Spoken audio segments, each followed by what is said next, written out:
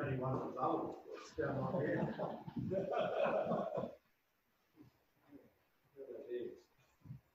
Uh, welcome, I'd like to welcome Rory up to, um, lead us in prayer.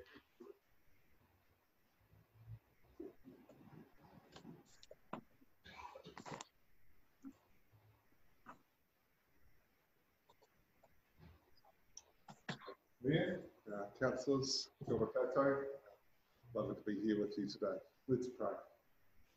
Dear Lord, we give you thanks for all those who set aside their own concerns to serve our communities in uh, roles of leadership and in roles uh, of service and helping around the community. Thank you for our elected representatives and for all the workers in the Community District Council and all they do to uh, help us in our lives. We pray that as they gather, to, as the councils gather today, that you'll give them wisdom and insight uh, for, during this difficult time. That you'll, they'll help you'll help them to discern the way ahead uh, through this crisis that we've been all facing and weathering, and uh, lead us into a bright future. So, Lord, as they gather, I pray that you'll uh, help them to see human concerns above all and uh, care for our people and lead them faithfully as they have been doing. In Jesus' name we, we pray. Amen. Thank you, very much. We appreciate that for our first meeting back. It's sort of exciting to be out and about, isn't it? Just back to school. Uh, please be seated. Uh,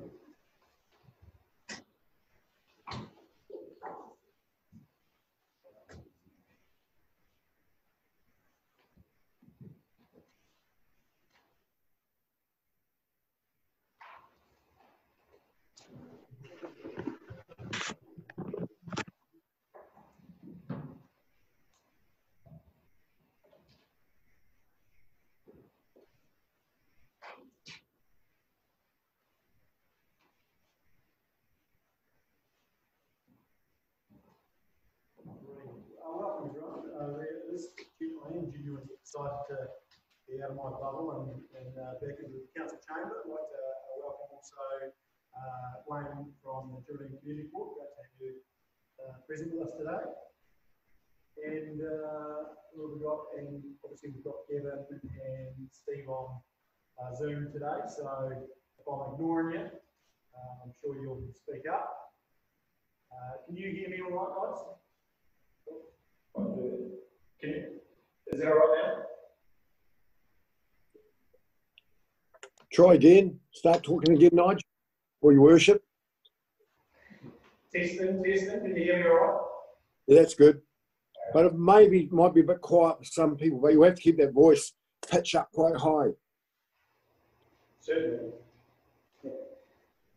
All right, we'll get uh, straight into it. So, call for apologies. So Ross from this point. Um, I'm going to move for those apologies. Uh, Councillor Lyon, Councillor Wood, all those in favour, say. I'm caught in the middle of uh, zooming and raising my hand and uh, saying aye, so it's the move back, isn't it? Who would have thought we'd have these challenges? Uh, no public forum. Uh, identification of urgent business. Uh. Uh, identification of of partnership. Uh, Yeah, I'd like to put the Heritage Centre in the World project to my nature, please. Yeah, certainly. Uh,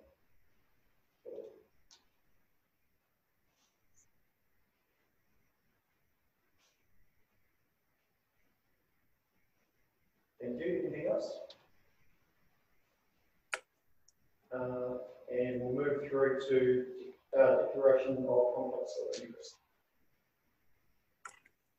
Uh, the, the council booth you just raised, um, you just wanted to note Yeah, uh, yeah, there's stuff here around funding for, um, Eric John, come. Yeah, cool. So I think it's just a point of note, noting it's, uh, uh, and increased funding. Uh, all that needs to be done. Yeah, cool, thanks. That's a bit, uh, it's good.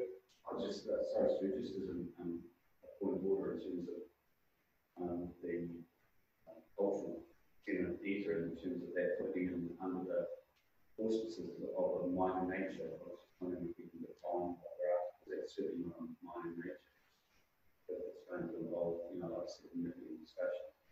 Uh, well, at the end of the day, uh, that's what mine, uh, so often puts out, you know, that mine nature was a, it'd be a discussion, um, no decision, um, whereas, uh, matter of doing business, so, yeah, so comfortable with that. Yes, I do. Awesome. Cool. Uh, thanks for the point of order. Okay, so any other conflicts? No. Uh, compilation of minutes, uh, single one, page six. We'll move that.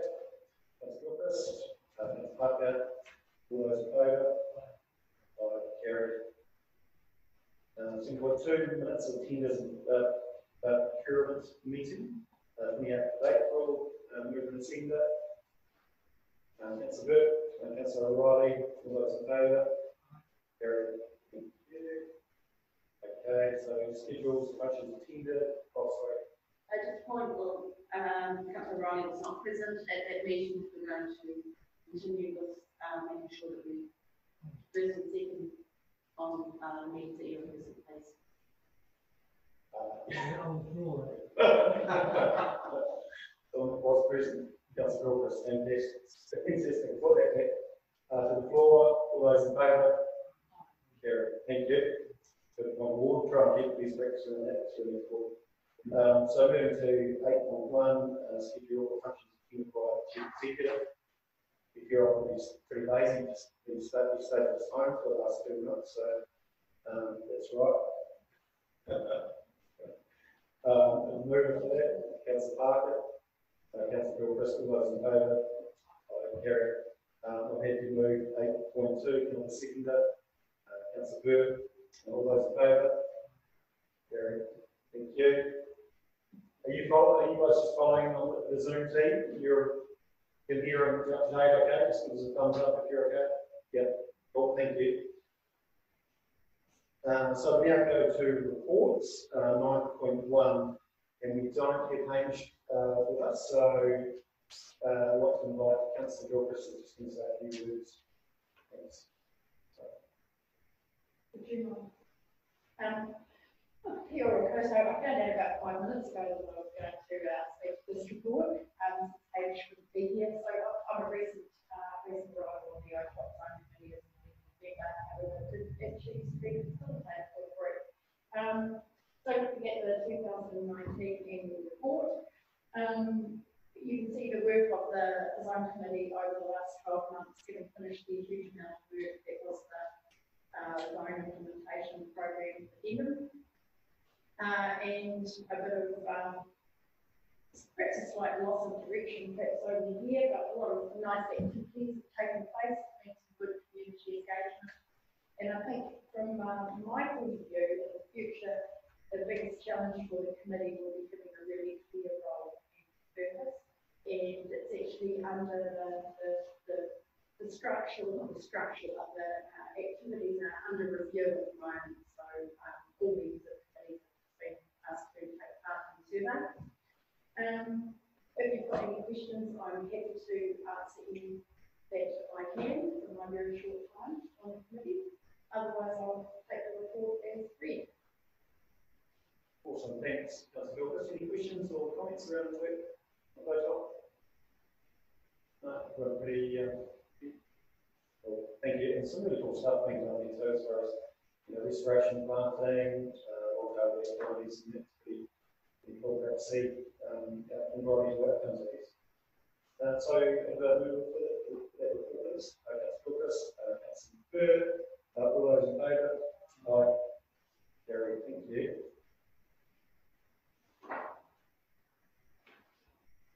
Okay, so we're moving to nine point two, which is on page thirty. And we've got contracts, uh, leads what he was uh, obviously doing there. Uh, move it to there. Get the Zoom team involved if you like. Uh, and we'll move it to there.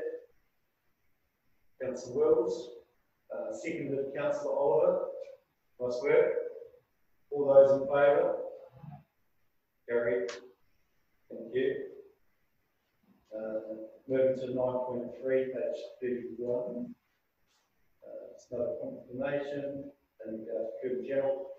Um, yeah, that's part and that's it. All those in favour? Uh, so we now move to um, item 4, page 32, uh, and we've got Fabian. Thank you, Fabian. We'll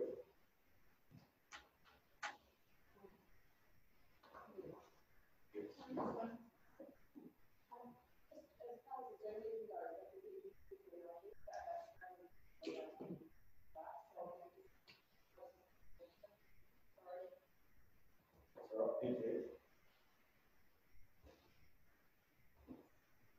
Over in your hands. Oh, thank you, your worship. Um, I'll take the report as read. We had a workshop on these policies way back when, in Peace Fund.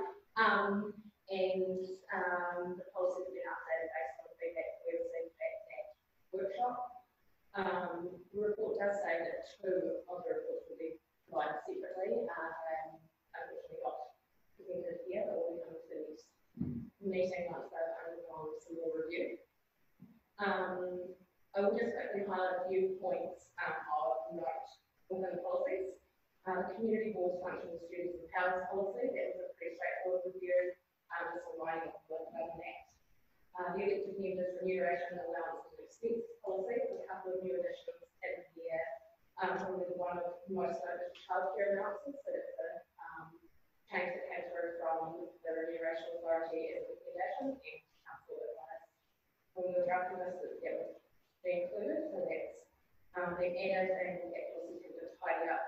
Um, and then there's also the, um, recommendation to repeal the elected conference and seminars and travel policy, um, it's entirely covered in the remuneration policy. So, Um, you can answer any questions on any of those policies. Awesome, thank you. Everyone loves a good policy in your life. Uh, any questions for Fabian? Oh, sorry, Councillor Wills. No? It, see that, oh, sounds so. Oh, you're looking at. Uh, that's right. Any other questions? So options are adopt or further amendments, is that correct?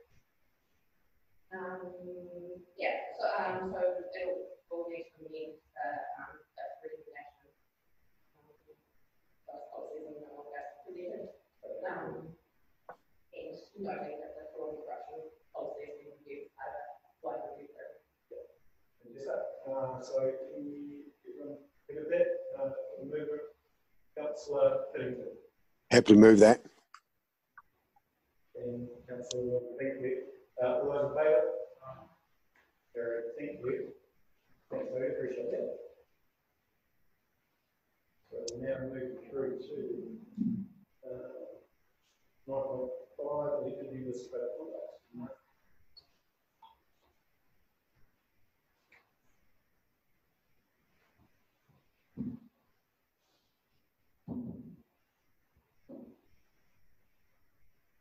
So, we'll leave, we'll take on the hands. Thanks, Um, so this policy was also, uh, part of that, uh, review process that we've gone through on this policy generally. Um, the code of conduct is uh, a legal requirement under the step one. And, uh, as part of the process, we've gone through a review of this. and that in the report. Um, so that we, that is based on the, that we did this year, and as part of that, as well as, um, the key elements that we might not have, a few. Um, that will that uh, next, dry structure format, uh, uh, uh, uh,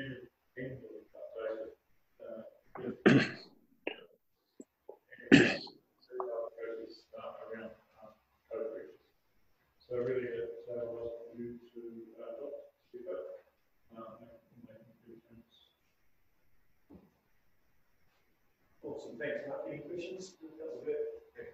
Moved. Brilliant. Uh, Burt, Gilchrist, uh, all those in favour? Gary, thank you. Thanks, Mark. Now moving on to the big one. Uh, we've got nine audit and risk, HC four.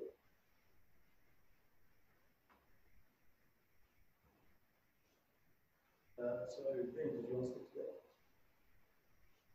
Uh, Thank you, your worship.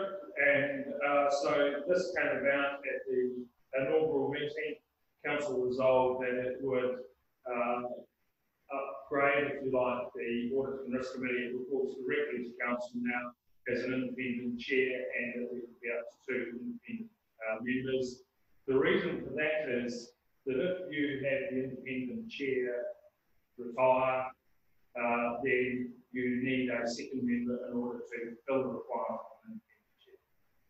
So uh, the, the Director and Trustee Appointments Committee, with the assistance of Karen Horn, who is the chair of that committee, engaged with the Institute directors and undertook a uh, search for a suitable candidate.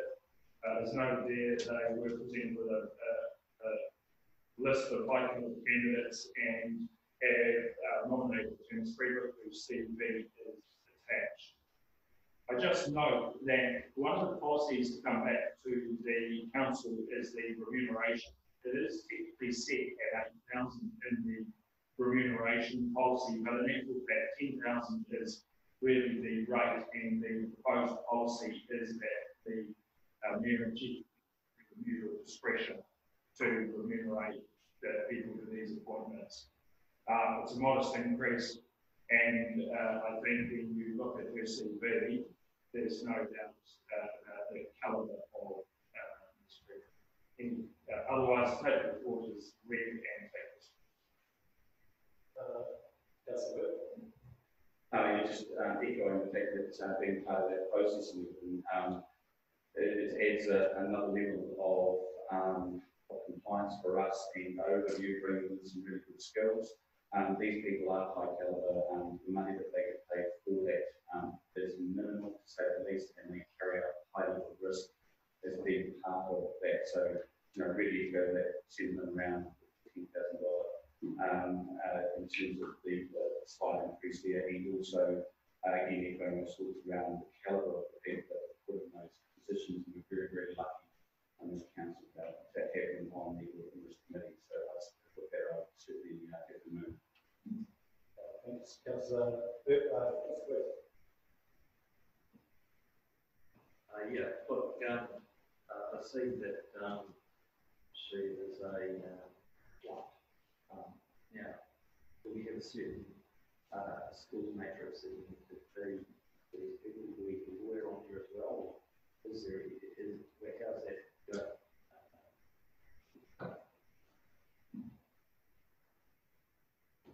Yeah, so through your, your worship, yes, there was uh, a skills matrix developed in accordance with the IOD and along with Kerry Horn about the attributes that a candidate would have.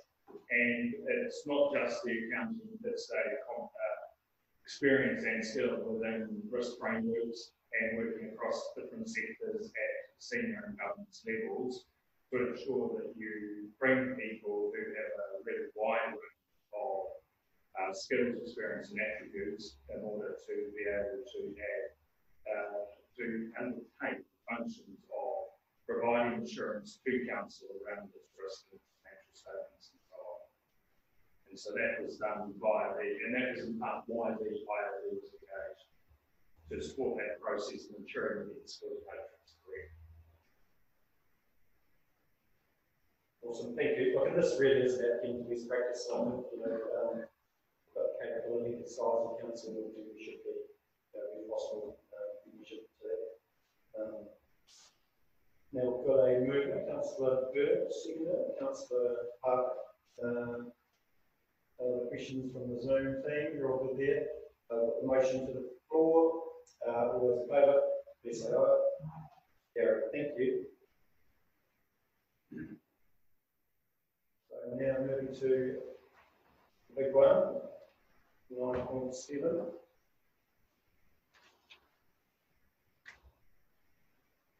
two to twelve.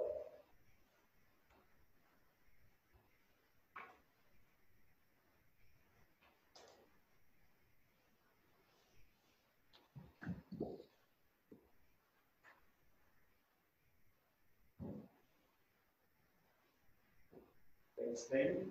Uh, should I pass to Donna or David? You can go for thanks, Donna. Um, so I guess we're here to consider the, a redraft of the drafting and into on the March. Um, Wait, hold on one moment. Could you, could you guys hear Donna at all? No, not very clear at all. If we can somehow get some clarity, I see um, all the other um, Zoomers are all waving the finger either up or shaking the head. No, can can hardly hear her. That's right, Yeah. Do you want to, uh, we move?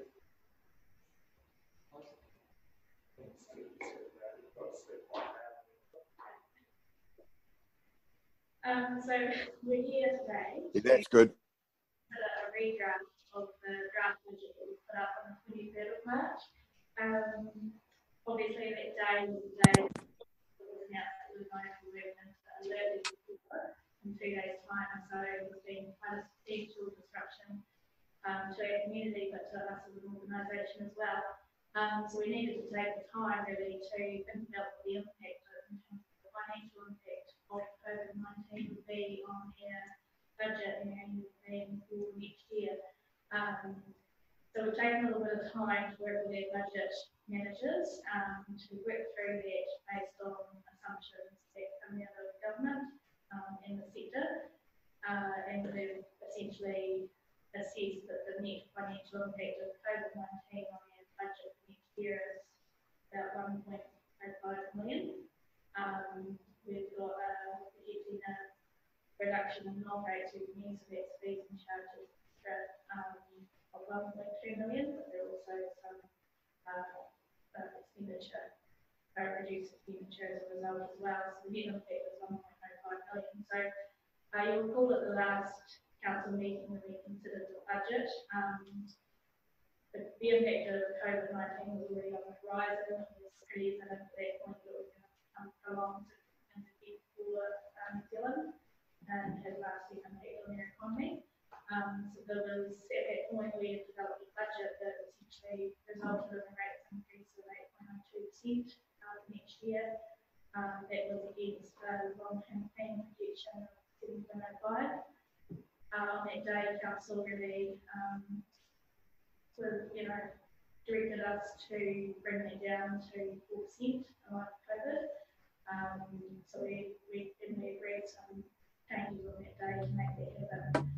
Reality is now that we're dealing with this, uh, point oh five million dollar funding debt caused by COVID, that put that four percent back up to about six. Um, so we're in a dilemma again about, about that. So, um, we're in a situation, we've got this funding shortfall. To bring it back down to under four percent, we've, we've come up with some measures to achieve that essentially increasing our effort to find efficiencies and savings business, both across operating expenses and personnel. Um, and as well as that, we've, um, uh, we've predicted less interest costs as well. So that would achieve essentially get us back down to under four, so three point eight nine percent, if that is still considered, um, appropriate by the council, and that's really what we're here today to discuss that.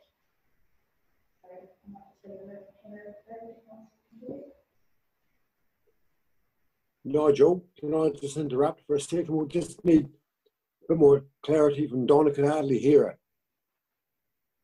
No worries, well, we're gonna move on to David, and we'll see how we go. Give me a a thumbs up once David gets in. Thank you, Worship. Um, there was a really good summary by Ron about, um, how the travel is, uh, connected, I spent most of the time in my home office, and it's good to be back out in the real world today. So Islam has said on last week we do consider the budget of 8.02 during the meeting, we made uh, came to a number of measures to bring it down to about four.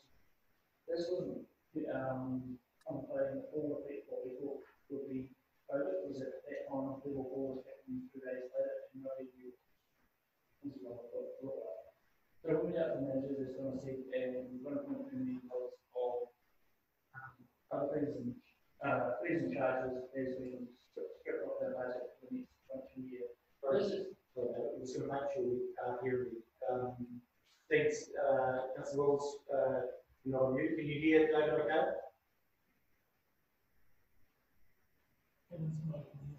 Oh, Kevin, you can hear, you can hear David okay?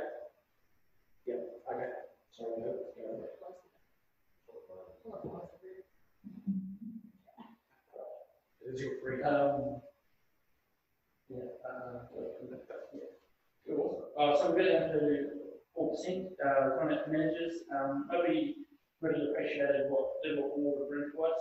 Uh, As we seen through it, um, petrol's expenditure dropped by ninety percent, groceries went up twenty-five percent. Um, everything, the bottom belt, uh, pretty much everything.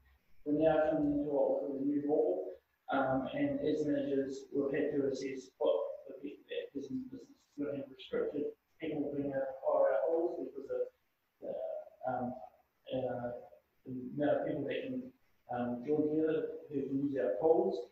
We predict some of our activities won't be too badly affected, people still have, um, to dispose of, um, there's still trade waste going on because of all that's related to our primary industries. So that's where to. So to get down to, we're proposing to present to you today, your worship, a budget of percent.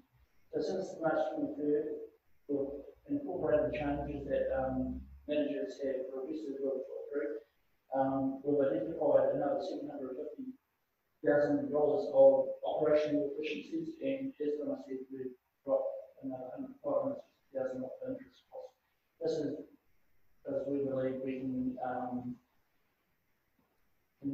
can, can get our debt at a cheaper rate, with the way the economy is going, we'll be able to bring the way, uh, way the cost of debt down. Um, so we'll have in the budget pack today a draft budget. In that draft budget is one percent budget. We have gone through and highlighted the changes to the budget since last time we presented you to make it easier for you. Um, we spent quite a bit of time on the twenty-third going through this. Uh, it's important to remember, in everything we're trying to achieve as a council, we're not it at the cost of our CAPEX and in fact, we're actually promoting the CAPEX program and not it at the expense of the resources. Thanks, David. Really appreciate that. Got a few points to work through, so I think what we might do is just take some questions from the board begin with. And then we'll, um, go back and get some more discussion around the, contingency fund. But we maybe hold that and then just start with some budget specific, uh, questions. Uh, uh, this is probably through you, your worship to be. I noticed in one of the notes we got, there was an increase in consultants fees of almost eight hundred thousand dollars. Can you explain how that came about? Thank you. Yeah, through you, your worship. Look, uh, there has been some extra work in areas such as the uh, water and drainage team and so on to deliver some of the uh, projects there and in parks and reserves. And look, the issue of consultants is always a is always a point of some contention because the concern is that you why are you not using staff? What are just some observations to make in that space? Uh, there is a place and a time for consultants, but they should be on a very tight uh, lead. Because the advantage of a consultant is being able to get those with targeted skills, specialist skills, bring them in on very uh, on a tight uh, brief and get them to, if you like, come and do the work, and then they uh, their services are no longer required. With staff, you tend to need to have people with quite a broad range of skills that may not always with the, the specialist skills we require. Uh, and so I've just also noted in that space that as a council, uh, Timaru District Council consistently ranks really low in terms of our remuneration costs as a percentage of total revenue when we compare to comparable councils. And so it's really the what we see as the most the um, targeted way to get your resource to deliver the services that we have, and there are a number of folks in some of those uh, areas, such as administration and so on.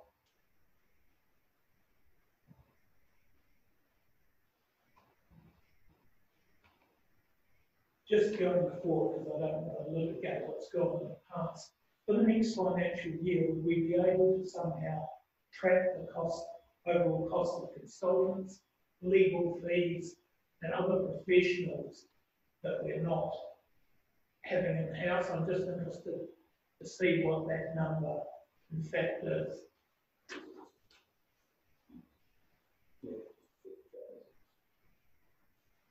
Yeah, through you, Your Worship, we certainly can uh, do that.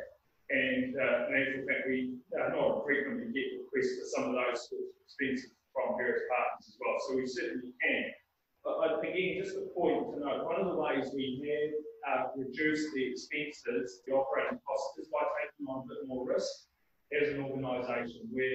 perhaps we might have been uh, inclined to go and get some of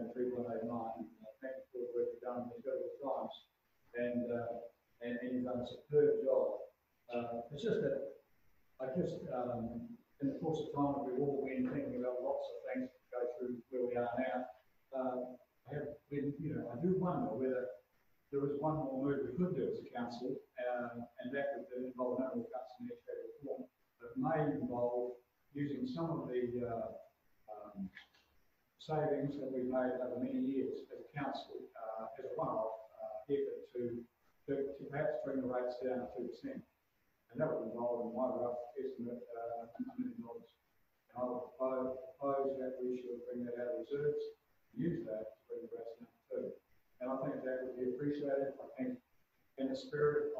what's going on there and the spirit of what's going on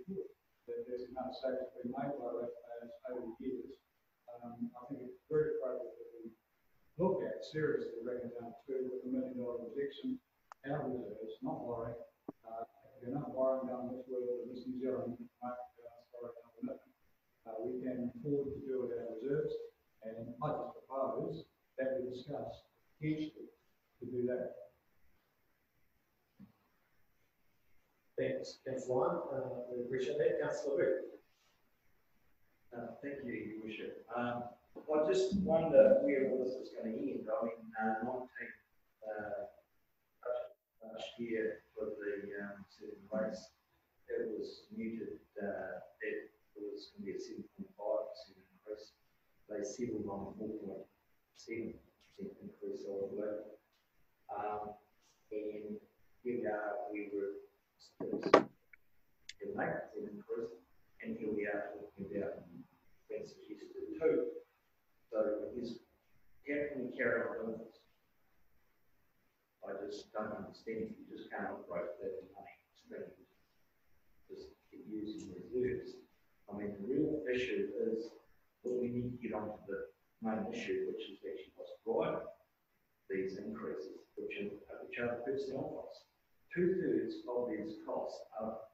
future openings within our corporate overhead. So uh, I guess that's of concern to me. We actually need to tackle that. And uh, in a business, you just can't let numbers like this actually just run around. You need to keep them, especially when it's see second biggest expense. Thanks, Councillor Booth. Councillor Parker. Thank you, Richard. Um, I'd like to thank the council officers also for proceedings um, in amendment draft and plan, and we're having our one month in the year event here, which was not seen at the long-term plan when we decided rates. Um, another article is we're, we're in the same storm but not the same boat, and I, and I totally agree with that, and I support Council Lyon in um, looking at an alternative option to try to further reduce rates. Um, there's significant stress and uncertainty, job losses already, and future job losses, or potential job losses, further job losses. So, um, I would be very supportive of looking at an alternative way to support, um, the rates to be reduced further, um, for, for them to public consultation. Thanks, councillor Parker. And you make a good point, uh, around public consultation, so, you know, we've got three weeks of consultation, we're likely to get feedback from the public. And I'm sure there'll be, uh, lots around no rates, uh, negative interest rates are almost a real thing, uh, not that negative rates. Uh. Yeah, um, a lot of uh, work has gone into this and we've, um, we've all sat around this table we understand the environment that we're facing. And we have to cut our cloth to, um, to understand and reflect exactly where that is. Um, people are looking to us, for leadership and they're looking for us for direction and, and, and so from that perspective, um, I know that, um, Councillor, um, brings a very point, um, around aspects of the budget that needs to be addressed and, and certainly going forward. And again, um, Councillor Piddington as well, what we need to especially going forward um, and understanding some of that risk we will have to take on board. However, in terms of that, we, we've still got this potential of these um, of significant monies that we would otherwise have to put out uh, for these uh, shovel-ready um, projects that we've got, and there's potential here. And I know it's uh, at this stage only potential, but a very uh, real and live one around uh, the government coming to party and enabling us then to be able to have monies that is going to uh, um, uh, back these calls up in terms of, of a very low rate rise. I, I support um, whatever we can do within the contingency that we have um, uh, within the scope of our budget to, to really reduce uh, the rates down. Uh, bearing in mind that central government has given us a really good steer that as TAs we must balance our books, we must be sensible, we must have monies if it means rate increases going forward because they will only support local district councils uh, in terms of funding that are being sensible. So we have to be mindful of that, but I, again, I support uh, the uh, motion put forward for the, the notion, I should say, being put forward by Councillor Lyons. It's great, it was a motion. Uh, any more discussion on, oh, sorry, councillor? Yeah, I would just like to echo the staff for a huge amount of work that's gone into, into drafting and rewriting and changing to change the numbers over and over again. And I, I support, um, councillor Lyon, and I think this is really about balance. We really need to find a balance between being able to do the things we need to do and drive the economy and also look after the community. And I think our community have, have put this money away it's really, it's really their money in a lot of ways that we've been looking after, and today's a rainy day. And I think if we can, if we can use our rainy day funds to soften the blow on our community while still being able to get on with this of work, then I fully support councillor Lyon's motion. I'm not going to do all the chiefs now, are we, the motions, but, um, I think, uh, be having some discussion, and there's a couple of things that are going to affect, uh, reserves, so I think, uh, uh, discussion on the senior side as well.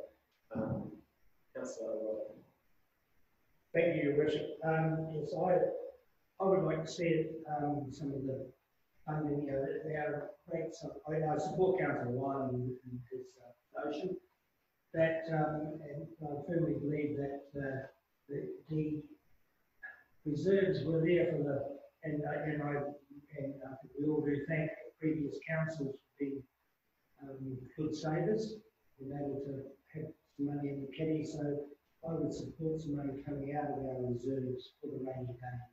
And then I believe perhaps even put in there. It's isn't?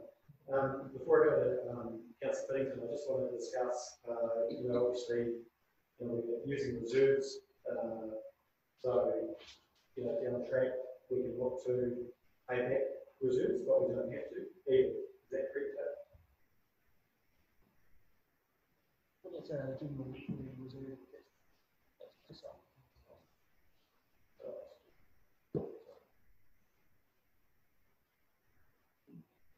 Okay, thank you for that. Sorry, we'll go. Yeah, so just please understand that, um, the reserves, we want to build up reserves, we can make a decision relating to build up reserves effectively at another date. Uh, so we can use the money, we don't have to borrow, we can use those reserves now, um, scaling options basically, and then, um, yeah, we can rate to build up reserves at a later date. So everyone understands um, some of the options. Uh, Councillor Guess I'm a wee bit concerned that we're just unilaterally dropped two percent. We're, we're running a business of sorts, and we need to live within our budget. My problem with dropping to two percent is I'm sure we are going to get other requests outside what is already in our budget. And perhaps even from around this table, there might be other requests. So I'm just not sure how far we can dip into reserves without materially affecting things going forward. And I know Councillor Burt uh, has said that the government said, you know, zero rates are off the table basically, if you need support from us.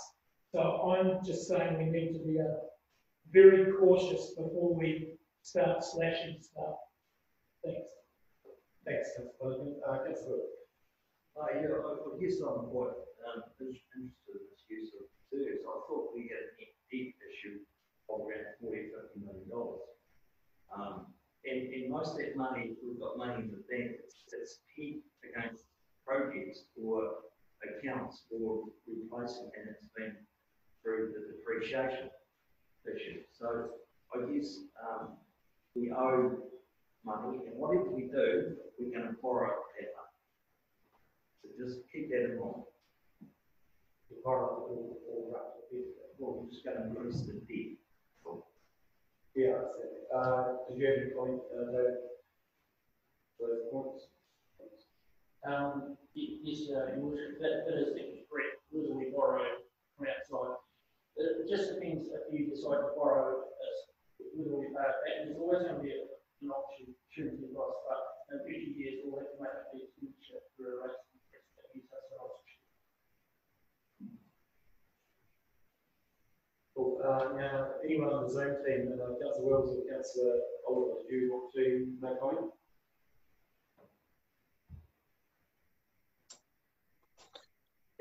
Yeah, Nigel, that's okay. I just um, I just agree with Stu and, and Pete around um, central government's advice regarding the rates. Um, I'm too a bit wary of dropping them as low as uh, what some of the other councillors are saying. Um, but you know, I think there is a little bit. I'd I'd prefer there is a little bit of wriggle room, personally. Um, but I'm not too sure with going to as low as two percent is quite um, is, is cutting it a bit too fine. Thanks, Councillor Oliver. Uh, Councillor Root. Yeah, thank you, Worship. There's no doubt it's going to have a significant impact on the community moving forward. And I think we can't determine how the long term is going to look at this particular time because we don't know where our economy is going to be. But more importantly, I think as a council, we should take some ownership and some leadership around this. And more so, we've got to come to a an agreed, I suppose, figure moving forward that we can look at the community as a whole and go, well, how can we actually help them move forward? But whether that is by either borrowing money or dipping in into our reserves, I certainly would like to have some real good discussion about which would be the most significant for a, um, I suppose, less impact further down the line. Because the reality is, we still need to have our infrastructure and everything else that we're aiming towards to be either work fixed and continue basic day-to-day operations within council. If we fail to meet those and they get ne- get neglected, further down the track, it's going to cost us more anyway. But I'm also very conscious of the fact that a lot of our community aren't harnessing their, or pulling the belts in a wee bit as well, and we've got to do our wee bit to contribute. But how that looks, I'd be more comfortable taking some money out of reserves and borrowing money. I get nervous every time we, as a council, talk about borrowing, borrowing, even though it's very low interest rates at the moment. we've got some reserves there. I think it'd be key from my perspective to limit the impact that our rates increase is going to be, and whether that's at anywhere between three and four percent, I'm quite comfortable with that because the reality is we need to have that money coming in.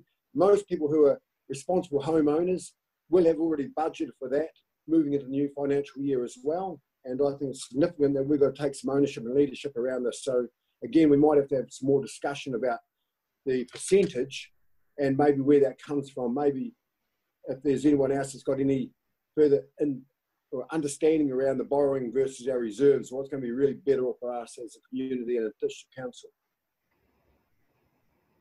Okay, thanks, councillor. What I want to do now is um, just shift over to the likes of stimulus fund because I'm conscious that, uh, or sorry, uh, the contingency fund set aside for discussion on that because, because I'm conscious uh, that is also reserve funding.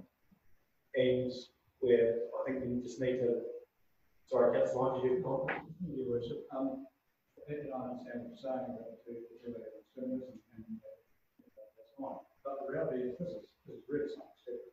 Um, this is rewarding, um, our ratepayers. We, we can reward our ratepayers equally with with a, a drop in, um, in, in the voter rate take. And this is an opportunity to do that. Uh, the stimulus one will be there for a lot of people, both the big winners and losers, and that's, a that's and I support the stimulus fund. But this is, I think it's a fair discussion to continue the rate, the potential percentage before we do the stimulus, because I'll support stimulus, don't worry about that. The of it, I think this needs sorting out now, because we either want to support a total basic rate pay and citizens of every rate payer you support every other citizen of the district. And this is an opportunity for us to show that we can, because we have the money available, we can help them this once, this once.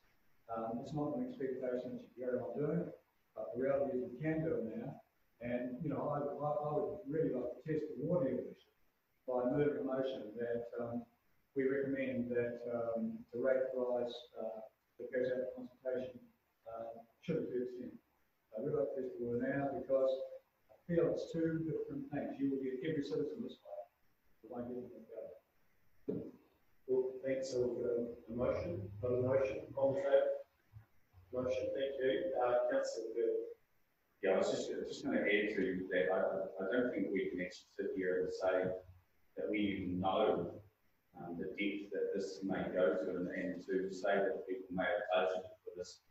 Um, I don't think we can even, they don't even know. Um, there are people now in, in extremely continuous situations uh, you know, across our economy, and to be fair, we're one of the better ones. We're, we're better placed uh, in most areas just be, because of what we are in terms of how we present ourselves through uh, our workforce, the, the types of, of um, know, industry we have, the agriculture, and what have. However, I don't think we can actually sit here and think that people have actually budgeted or even not and understanding the debt is going to. So again, I think we need to cut it off to, to represent the potential for this, and I would second um, the uh, interest rate of 2%. That's right. Um, okay, so, uh, got a motion, councillor Wick, did you Uh, yeah, look, I, I guess, um, yeah, you, you've got to consider we're also, um, putting up two million dollar contingency fund as well, which is four percent of our rate. So, um, you know, you, now we look at reducing our rates by two percent, another two percent. Um, you know, I'd could see that rate uh, stay and perhaps the extra money go towards that contingency fund, so we can. So that's the case, rather than just a small bits and pieces. Okay, uh, I'm going to ask for any more commentary around that, and that's partly why I want, um, not to be viewed isolation, but we do have a motion which we'll vote on shortly. Uh, councillor Finn. I actually want, want to hear what your thoughts are on the stimulus package because I don't think we can silo this money and pretend one's here, one's here, one's here. I'd like to hear from your worship what your idea is before I move anywhere.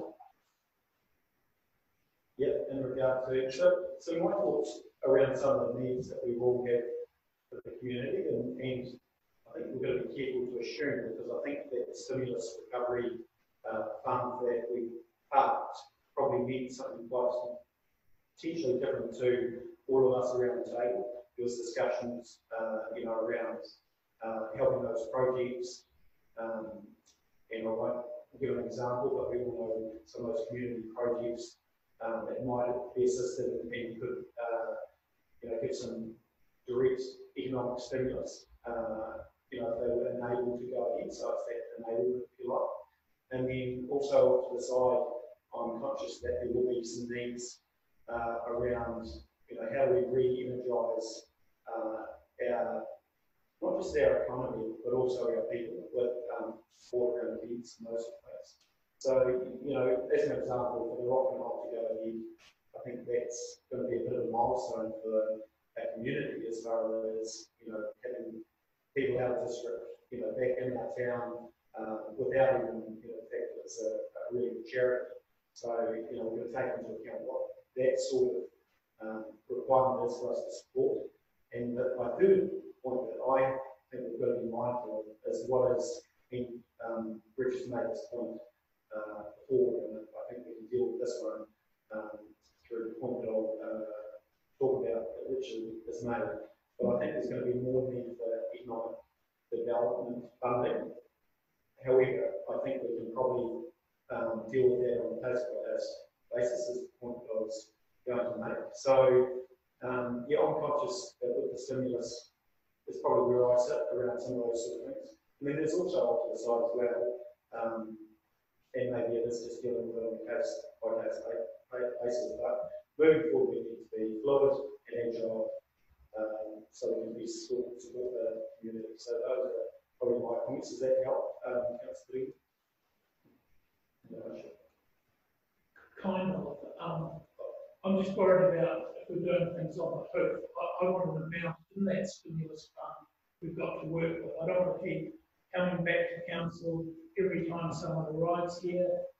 And we've got a discussion around that, if that makes sense.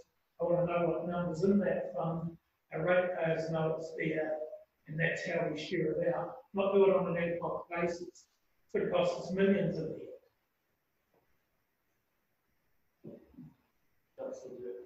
Um, yeah, yeah, I, I understand exactly what you're talking about. So essentially, it's very hard, um, to not understand potentially what's going to be. Bearing in mind the structure of the people that we put around it, but I think it's, it is rankings. Uh, and we just have to try and get the best out of it that we can, and in there, and you touched on a very good point, that economic development aspect is probably some of the stuff that, that we need to drive for it. And the key thing again that uh, Councillor Lyons brought up is that um, this is going to be um, driven for a, a, a number of other aspects of, of the of the community or district good, but to actually equate um, a saving and a benefit to our individual um, ratepayers. The only way we can actually recognise that is through the, the rates itself, and then put this to one side and hope how what the people we've got and we're putting into this uh, reigniting um, committee thing are going to drive it. And bearing in mind that there is going to be an input and re- reviews and what's of this council around here that's going to go and it's going to I hope that helps. um, somewhat. So, uh, I mean, the, the question is, and this is how does, you know, one is two million enough? Or should we be looking at these things all in isolation? Um, or should we, or should we be looking at like some of the points that I mentioned around event support, economic development, should that come from the two million? So those are some of the questions, and I don't necessarily the answer, but as a we need to make those, um, go law. I think it was one, but I've, got, you know, no for all, a number of things, uh, here and understanding what's there, that's, should do, no question about that. Uh, I'm certainly not proposing this undermines this, uh, uh, fund in shape or form. I'm trying to do is get some fairness to all the citizens of Timaru district, so that everybody shares in some of the, um, opportunities that we can provide as a council. This is one way we can give everybody an opportunity to be just a fraction better off because we can do that. We have this money available, uh, and it doesn't take away from the table what could come to this table in the future. Now, that is another issue over there. So this is now, and, uh, two million is not enough. I guess we debate that again. uh, And, uh, you know, so I suspect two million will be put aside, and that's fine. But I think that we owe it to our community to, you know, to, to give them this help this moment and, and, together. But I would suggest you wish, to put motion. Yes. That's why I'm comfortable with that, because we can come back to that. Uh, so we've all, uh, is everyone up to date there? Councillor Oliver, Councillor Wills, you're up to date with the conversation? Just a nod. So we've, got a motion that we're going to put to the floor. Uh, it was, uh, Councillor Lyon and then seconded by Councillor Burt. So was the rates rise to be at two percent. That's correct. So you've got- that right? It's not, So let me just get some clarification around that. You're saying that uh, moved by Councillor Lyon, seconded by Councillor Burt, it's going to be a rates increase of 2%. Is that correct? Is that what you're proposing? that's what's on the table, and that's, um, obviously to go through to draft, uh, draft plan to go through consultation. That's correct, so comfortable with that? Any questions before we put the motion to the floor? Then Everyone's, uh, perfect, are they? I suppose, yeah, that's all fine by me. So you answer, again, just give us a, a nod, mate, you heard that all right? Yeah, perfect. Okay, so we'll put the motion to the floor, let's raise your hands, um, all those in favour, uh, raise your hand. Uh, sorry, did, uh, was a hand here. Uh, so, and then we'll go, uh, against. Sorry, Kevin, I think you're, Kevin's against, so, okay. Cool, and do you want, um, do you want that recorded? Yeah. Cool, so the motion is carried that we put the rates at two percent through to, um, consultation. Right, moving on to, let's, uh, tackle. Excuse me, Your worship, do we need to explain now that we've accepted that, how we're going to fund it, or does that come later on? So the ratepayers know whether we're going to loan it, come out of reserve. So, uh, yes, sorry, uh, So, uh, there's a, there's a sort of an accounting and a cash flow issue here. Uh, What happens is, council at the moment, they have about forty million dollars in cash reserves at present. And debt of say ninety million. So, would that be right, eighty-five or something? Uh, yeah. Yeah, so we're sitting on net debt of about forty to forty-five million or something in that order. Might be a bit higher, might be forty-five to fifty million, sorry. And what happens is the motion is that in terms of our expenses and our revenue, there is a gap. And if we go to two percent, then that gap is roughly about three million dollars. Correct? And so you're saying we will use our reserves for our savings. Now, council's reserves are made up of, uh, cash is forty odd million and forty odd million dollars of those reserves. But it's also made up of things like parks, roads, water networks, arts at the gallery, artifacts at the museum. And when we come to make the decision, to councillor Booth's point, we would look and say, should we borrow at, say, one point nine percent as we've been able to when we have funding requirements, which is normally for the projects, or should we break a term deposit depending on the interest rate we have? But each year, council accumulates cash surpluses. So we, even this year, will run a very strong cash surplus because inside that budget is depreciation of fifteen or sixteen million dollars we rate to recover depreciation and, uh, use it in future projects.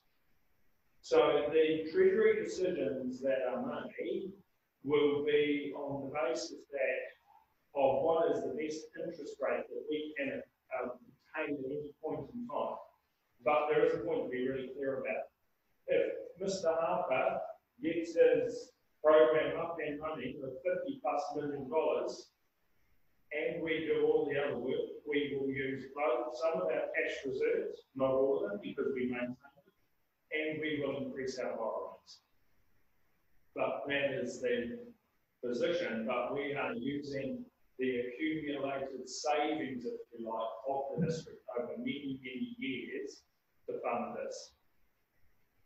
Does that sort of help identify how we deal with it? Be fair to say though, we're in a pretty re- unique situation that we're facing at the moment. So, again, that's why we have these savings. That you know, this could be a once in a lifetime experience for quite a number of our people. Uh, that's a bit, I, I guess I just, I'm not sure if you all understand that we've got forty-five million dollars of debt, so, um, you haven't actually got, I mean, really, you haven't actually got money. You have money bank, but you got more debt. So you're actually simply borrowing money. And, and, and it'll come at a, at a cost of interest, pretty much. That's the one. Well, just, just, uh, obviously, as mentioned before, that can be, we could, uh,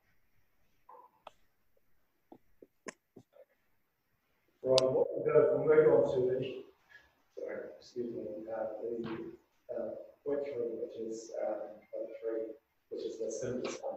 So any other discussion around this, um, please?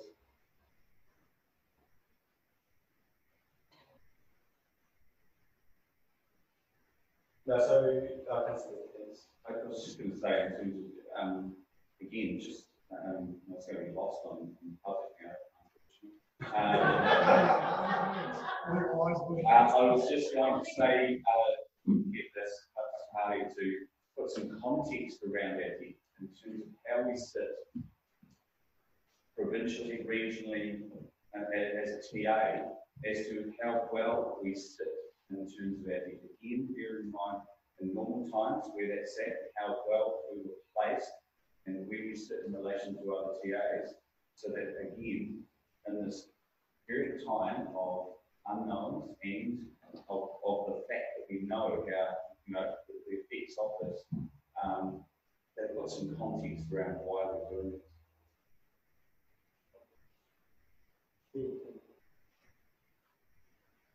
Yeah, look, just to, to, uh, councillor Burt's point, we do hold about forty-five million.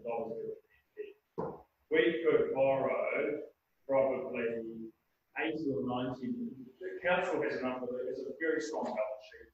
Uh, LGFA, the local government funding agency, has made that point on a number of occasions. That's why we have that credit rating from Fitch.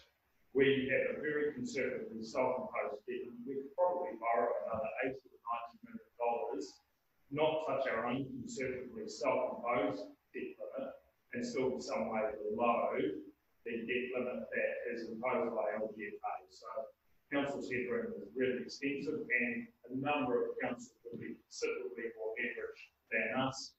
Um, and, uh, and in fact, some of them, some of the larger councils don't have any headroom really, they're, they're, uh, tapped out very close to. So we're in a strong position.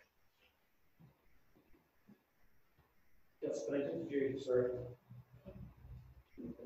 Sorry, I just didn't understand what we're now discussing. Yeah, so we're on to stimulus, yeah, yeah, yeah. To. Um, and there's a real argument that, um, you know, we are in a good financial position. Um, central governments and local governments at times of crisis uh, borrow of, you know, the economy. And, you know, when it recovers, uh, private investors take that role and, uh, government would be look to consolidate at those points. So, you know, we are in that sort of phase and, and you know, looking uh, to a lot of the comments that have spoken recently to us, uh, that would be pretty much this, that percentage, so hence how much of a part we want to play, um, in that role. But So any other discussion around stimulus, uh, two million, is it enough? What we want to go to, are we happy with those general terms of? So, uh, Ms. Farkas. Thank you. Um, yes, I took all it. Seems, so I'm not clear, I don't think it is clear yet, whether it's going to be more economic shovel ready versus well-being social.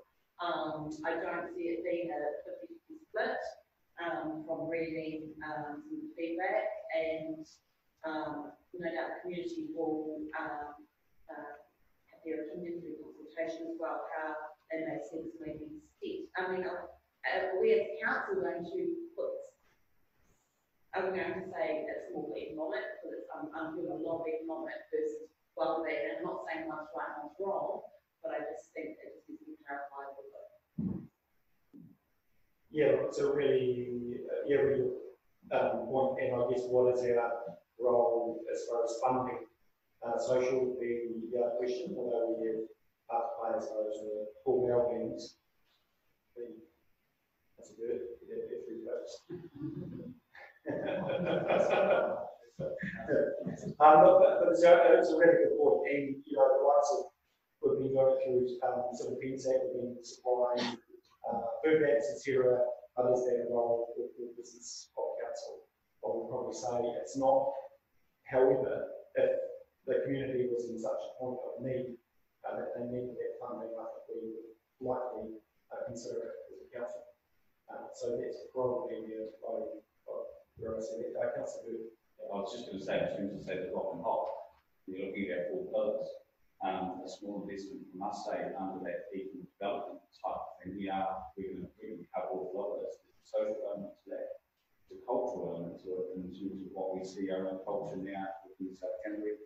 Um, obviously not the environmental level, all those vehicles, but, um, like, we- we straddle a number of things, so, you know, so we're actually ticking a few boxes if we do look at those projects. Uh, council Booth. Uh, yeah, uh, well, uh, uh, quite like the idea of the, uh, What's that? Yeah,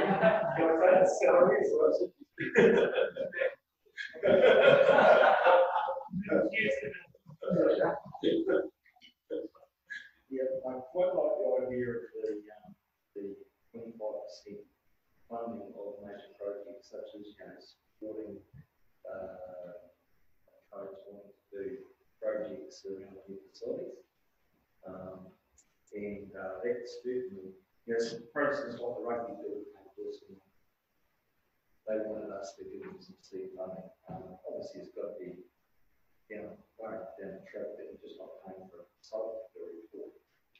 Um, but certainly, with the commitment, if they proceed forward, that in the history that, uh, all the other funding that would be required, it is for report, it could be regarded as seeding funding, which, um, there's a number of projects around South Canterbury that would be, well, for good assistance. and it directly impact a number of people, uh, a lot of junior kids, uh, the development, uh, mainly around sports and culture. Um, so yes, I, I, I, I quite like the idea of that. Cool, Thanks, council Booth. Uh, council Look, I'm not sure everyone else read it, but uh, Donna Ford had something through reference to the project. I would like to just like some clarity, because uh, preference we give the projects have been adversely affected by COVID-19. It's not necessarily the case. We take Council Booth's example of Fraser Park Community Trust. You know, they had the project in before COVID, so I'm just not sure that we quite got those wordings right. And the last one there, performance, put in audit criteria may apply. I would have thought if we're giving away ratepayers money, it must apply in some way. We must have some accountability from the organisation we give money to. to cover things. Now, I personally don't think two million is enough. So I'd like to see that increase. Thank you. thank councillor Burt, uh, but councillor, oh, sorry, councillor, apologies, councillor. Well, oh, thank you, Bishop. Um, yeah, well, I I certainly support the, the stimulus fund, funds fund of two, two million, you know, I, I- these are, these, these are going to consultation, this list of, um, uh, comments we've got here in, in place forward, isn't it? If we're, we're, we're we taking these off today? Uh, I think we just need a general, uh, Don, could you speak to that, just need a general, We'll need reasonable definition of principles for the consultation document, so to come up with a board about the projects and activities, the proposal method, size, traffic will need, um, you know, eight maybe principles that we can put into the consultation document. Well, if that's the case, and it's pretty important that we this up, uh, you know, and, and, and get to know, the committee know what we, uh, do with, with the stimulus fund, uh, and not getting that spe- specifics, so we understand where we're going. And one of the important ones, and like this here, I, I see is that, um, that, uh, we arrange uh, whatever um, and that recommendation come back to council, we ticked off so that we have the council, agreement, uh, to the expenditure to go out. Some other body, um, handing that money out on our behalf. So that's a check and balance that I'd like to see as one of those eight nine points, uh, clearly articulated, um, that, uh, because if we need more fundings, uh, people come back to us, and if we're just there, we're happy to. But give us the courtesy giving us and look, I think councillor Burt did make a really good point around, you know, obviously, like, uh, um, walked, and, um, yeah, might on social wellbeing side of things, but we probably, as far as what trying to achieve uh, that stimulus, especially. Uh, from room, councillor, uh, councillor, thanks.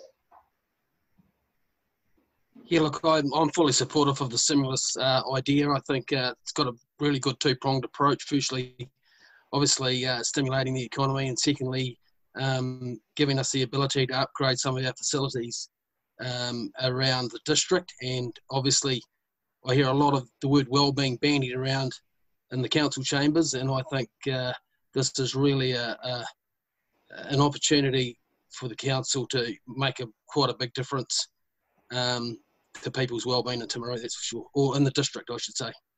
Um, so yeah, like I fully support it, and I think going forward that you know maybe even topping up, topping it up every uh, year might be an option as well, just to keep it going. Yeah, thanks, uh, councillor Oliver. Look, and I think, you know, it's been raised a couple of times in regard to, know, what is this moving forward, what's our role in this space? And I think it's something we can quite easily uh, bring into the LTP um, discussion, so we can have the time over the uh, next three-year plan. So this is something that we want moving forward, um, to whatever uh, so we need a chance to do that. Uh, councillor Oliver. Yeah, Thank you, Your worship. I, I, I feel, you know, it's a stimulus fund that is covered as just COVID, or is it an ongoing thing? And you, you touched on that, maybe it is an ongoing thing. And, and I, I support it, I just, I keep, I just keep thinking of being a stimulus fund for COVID, just to, to get well-being and people feeling, feeling nice for us when we, at some stage when we come out, maybe in a year or so's time.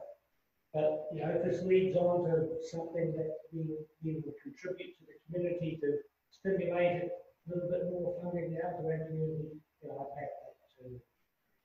So it's, um, but, you know, we said right from the start that we needed to do something for the community because of the situation we're in. Uh, I, you know, this is part of it. Let's, uh, let's just go forward with, get something out there to help of well-being in the community.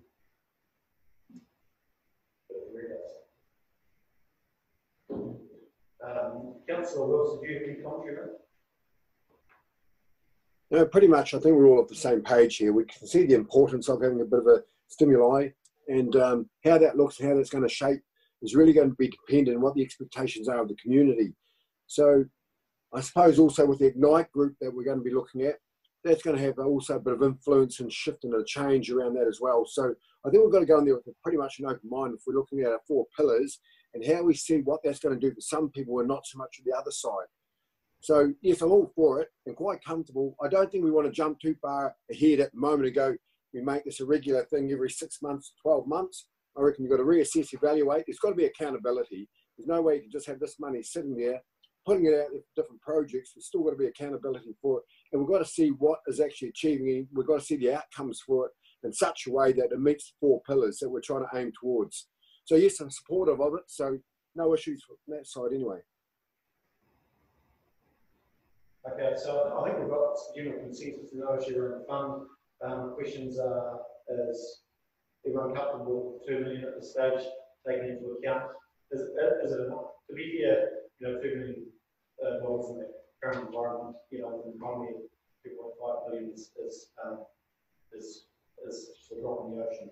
Uh, however, you know, our role, um, and we're expecting our partners in central government to pick up that role, uh, economic stimulus, and an equitable approach across the entire country.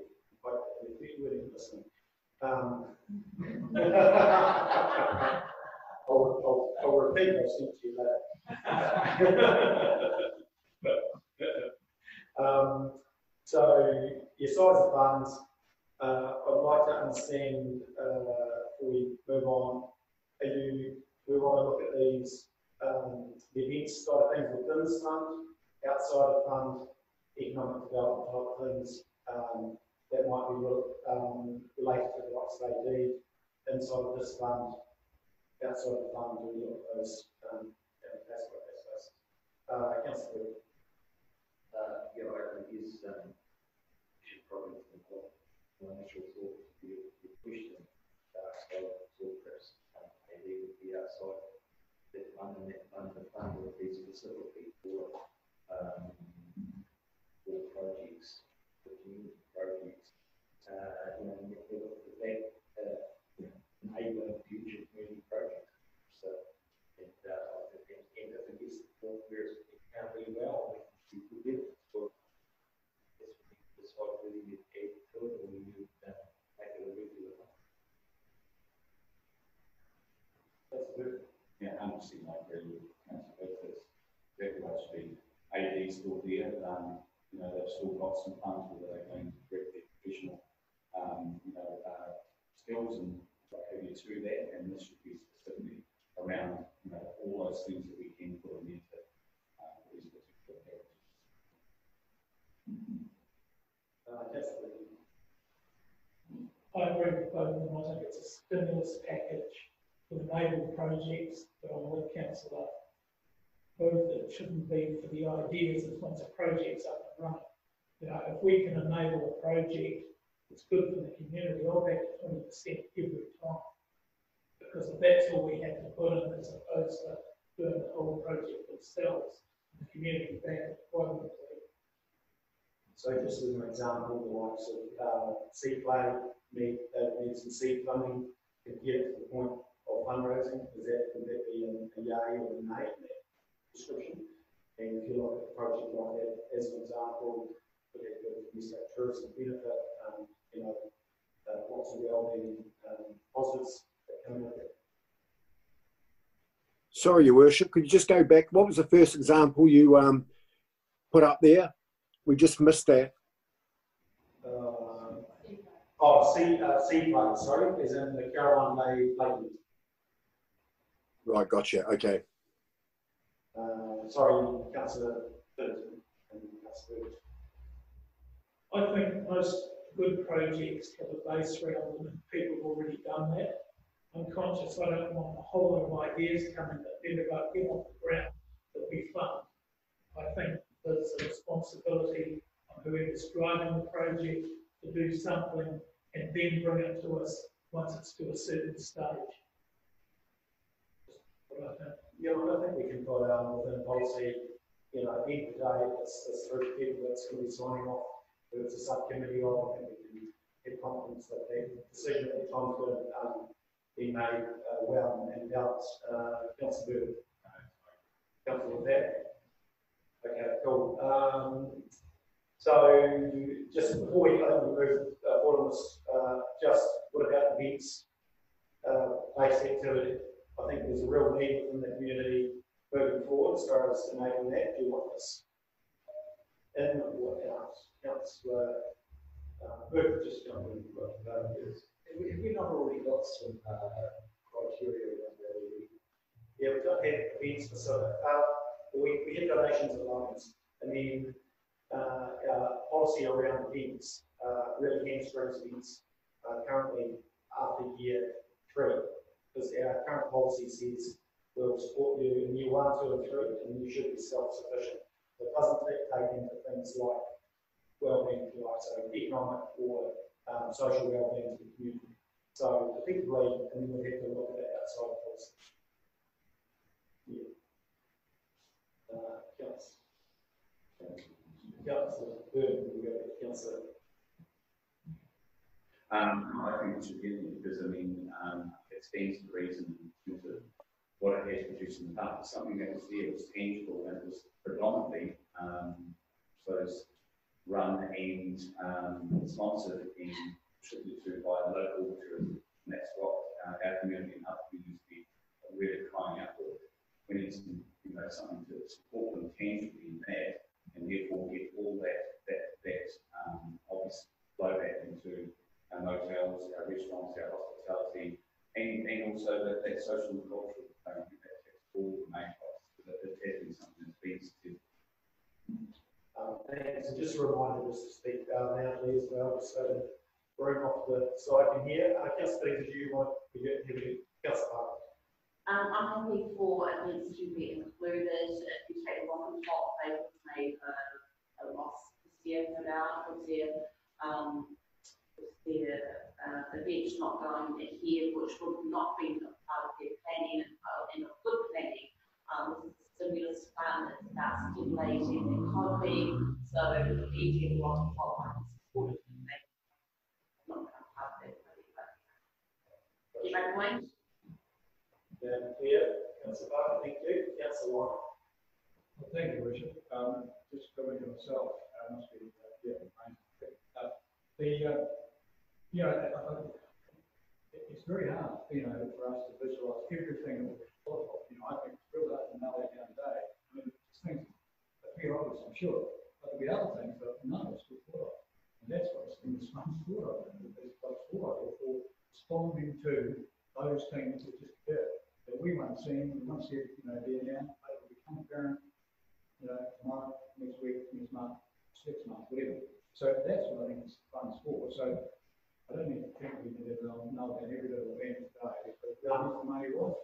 And the other thing I was going to say, Your worship, was that, uh, you suggested perhaps a subcommittee or whatever, or whatever, months ago, I mean, we do meet as a council, uh, in committees, so I would suggest that the whole council come to that committee, and we uh, just, just on needs to, and as needed basis. It'll be not because of the obvious, sure. Uh, I think we'll just have to make, uh, that fluid, so we'll have to think about that, because we might not want to be, know, restricted by meeting days specifically, so, yeah. Uh, councillor George. I was in my weight behind, I fully support events being included.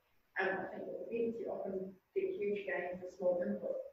And, um, they kind of carry across, uh, at least three or four already, so hugely supportive. And I do have a fear also about getting bound up and council business, maybe not being able to move as possible, so I think we need to be really aware of that. Awesome, thanks, we can probably wrap this in a moment. Councillor Booth.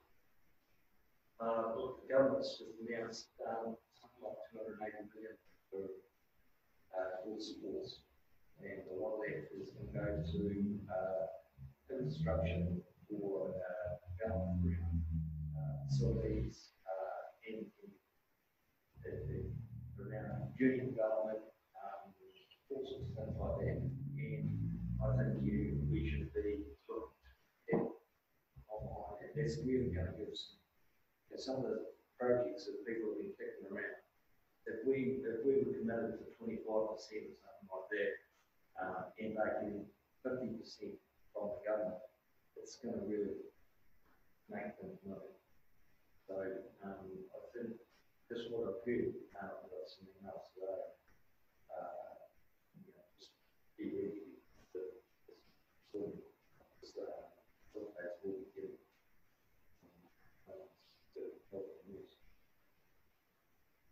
So, so just before we uh, move this, um, Don, are you comfortable with directions we've given you too much, not enough? Do we want to take it? Um, it's probably not. I think, yeah, I think, so, got two million dollars discretionary fund, the project event. I think just a bit of clarity around economic being a priority rather versus some of the other good. Um, and also if you wanted to, uh, size the fund, we want to keep that one open. So size of project.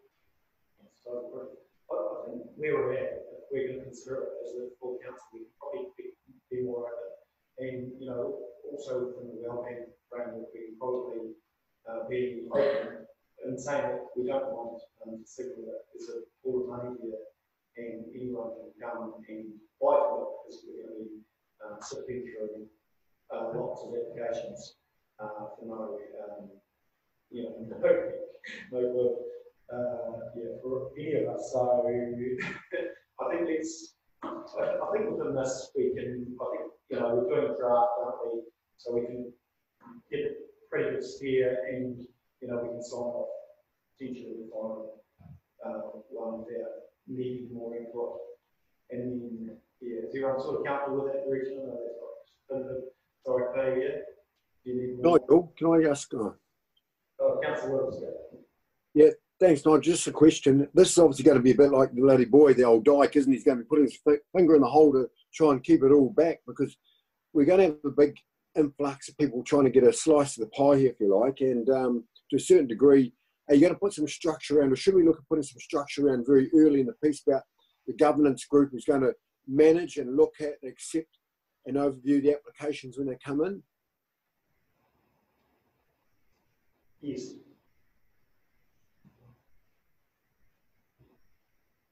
Yeah, we'll need to erect some structure for sure. Yeah, because I and I think most probably sooner rather than later, because once this gets out the media, you can get absolutely guaranteed it's, it's going to be a flood of um, applications coming into that area, and I just don't want to be sitting around there two, three months later on down the track, and we're still holding hands with the old boy holding his finger in the dike, and we're not achieving anything at all. So we've got to make sure that we are prepared for it, and we're ready to go as soon as possible. Yeah, no, really. Sorry, Heidi, yeah, do you- yeah. Can you speak? Um, I just want to have a quick comment in terms of like the policy structure around it. Um, in terms of the like contingency funds and stimulus have been really controversial when used by councils in the past. And so in terms of, um, like John's right, the, the structure, um, in terms of when we have a conversation with the public about it, because we will be, uh, council will be judged based on that conversation, people will review that conversation, goes out. And they'll know what they've said in their feedback. And so, in terms of having like, a really good policy structure around that fund, will save a whole world of pain at the end when we're dishing out money based on it. So, know, like, as much time as, can be given for consultation in terms of what's in and like what principles supported and what aren't, will be really, really helpful when it gets to the, to the decision making process. So that'd be my opinion. Good, uh, I guess when we talked about originally, Nigel, the economic stimulus came through major projects. So I'm going to suggest the project's going to be over quarter million dollars. With, maybe as Don's point, we'll get inundated with rats and mice, and I don't mean that in a bad way. But we've got to have, not that we contribute necessarily to fifty, but the, the project's got to have some real value, otherwise every play centre will want to play with it. And I'm not saying that's bad, but that's not the idea of what this is. And I also think we need a number on what percentage we would contribute to something. So the council isn't seen as a hundred percent funder itself as well. So my number would be two hundred and we, as a minimum for a project, not economic development, we contribute a maximum of twenty percent. Thanks, Uh, yeah, I think you're right as far as, um, numbers there. Support that, and I guess the question is whether that, what that excludes, and is, um, that here, go to Councillor Ryan, and Riley. Well, thank you, Rich. I mean, me, that just takes away some of what the still, still expands for. Are some people who manufacture a cause that is worth uh, hundred fifty thousand, in fact, it might be a cause that's worth eighty thousand, which is crucial to some the community. So I, I think we're taking away from what we're trying to do, it's a lot of anyone, simply be, you know, I mean, all rights have no, no, no, no, but to, to, to, to, to put two fifty on it, out of two million, say applications, isn't it? So I think it's just too narrow, it's just taking away from what we're trying to achieve in my simple mind. I would have thought that if, um, uh, the panel of the community that gets involved, uh, and, and sifts through somebody who brings those things to us and does the, the groundwork of, that we people we do, uh, and then we sort through from there, but yeah, two fifty for start, I mean, I think things can say, well, what about us? So, what about us? Um, I certainly see, you know, a cap, uh, percent on, on, leaving over there, it's, um, you know. Thank you, Richard. Yeah, I, um, I, I like the idea of supporting the project, and I think the Stimulus Fund was there to help small groups get, have something, an event to, um, you know, Rock and Hop's another story, but, you know, some of the communities might want to have a, a, um, a party of some sort, you know, and I thought some of that money was going the, the thought was, the thought pattern was to help an event happen as a, um, just not put a figure on it. And, and I know the rats and mice, we might get it in, but, to cover that, and I, I, I feel putting a figure on a major project, yeah, fine, you can do that, but someone wants to run an event, it's gonna cost ten thousand dollars. We help them, and then that I thought the, um, Yeah, I think the event side of things probably deal with the policy easy enough, because it's probably a smaller, um, amount. Um, Councillor Gilchrist. Yeah, I, I, I don't like the idea of, uh, considering that giving kids like a two hundred fifty thousand dollar value. And I definitely support that we fund a percentage of it, and that's limited, so twenty-five percent sounds like a good number to me. But I think limiting things to a project value of two hundred fifty thousand might, uh, we might miss out on some other really good things that have value, and events was my big concern. Um, but also some other really valuable, um, economic stimulus and smaller projects that, uh, you know, make several well-being, and I think that we really be doing a disservice by limiting it to those really large. ones. I'm not, I'm not against setting a, a limit, but I just think that's a bit high. I think, um, weighing the percentage in you could quite easily exclude, you know, some of the and because it's not one that you can just come to, you get free, you've actually got to have a bit of a, you know, track record behind you. Um, so I think that would probably deal with it, um, you know, to exclude, um, you know, some, some pain later. And, and there again, you know, to, uh, Councillor Fox's point, uh, from our visiting councillor from Waitangi, um, but to have you with us. Um, you know, I think it's really, uh, we don't, a lot of people come to us, the just say, it's never about that. We. So we do. Probably a way to try and force to get trying to understand, you know, both sides of the argument, it's, it's quite obvious, but there's maybe if we just put a weighting on the, um, on the, uh, so economic, social, cultural, and environmental, maybe if we just put a, a weighting on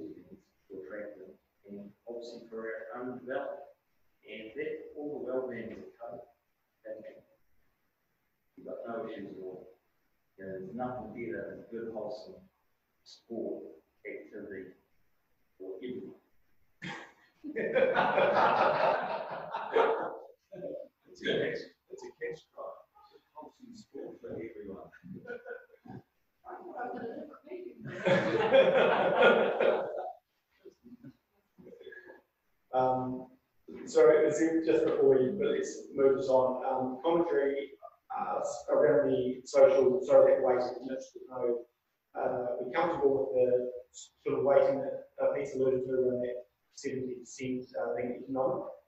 Or does that exclude anything, um, you know, socially that we should be doing? Um, please, uh, please put your, uh, best words forward rather than just brown. Parker, would you like to make a comment? Oh, sorry. I feel seventy percent is a little bit steep, but once again, it's an application, and so I'm sure that these people will really feedback and invite us to our clients. Um, I'm not sure what the right number is. It's- Yeah, look, I think that's a really valid point, so we might be able to show that. Uh, Councillor Brooks, you respond to that. Councillor Lyon, um, either a motion or a motion either. Jesus, your worship. Can I get you to go back? Was it um, Barbara or Sally that was just talking before? We didn't capture anything that she was raising.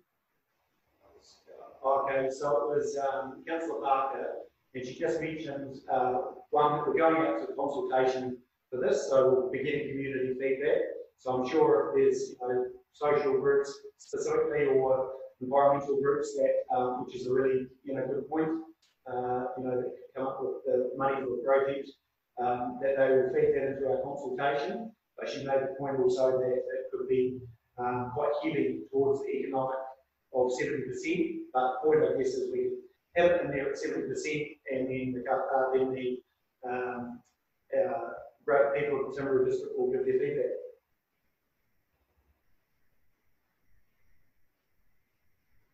So, oh, you're on mute, Steve. Yeah, so was that for the stimuli package? Is that correct? Yes, that's right. Okay, thank you. Just clarifies it. Thank you. Thank you. So, um, councillor Long. Yeah, thank you, Lisa. I was just going to say that I agree with Councillor Parker's approach. Um, that it certainly seems a little, but, um, yeah, that's the question I guess. Yeah, okay, look, um, I'm going to move that. Uh, We've got enough around that, I think. Not quite. So we're talking to some restrictions of uh, twenty-five percent. Oh, sorry. Sorry, I no, just go wanted to clarify the lighting, now that back to where, because I, I agree that it's having, um, an outcome-based investment is the right approach and then we use priorities, but unless you're doing a contestable round, we've got a minimum criteria. I'm just trying to think through how the lighting would actually work in practice, so, um, you know, comparing proposals, level, for example, we're not having minimum threshold. Yeah. Um, so I think it might be a good to get great, but I was thinking through new data, but um, I just, yeah, just how we, I think, you know, what you're saying, you know, fundamentally related to but,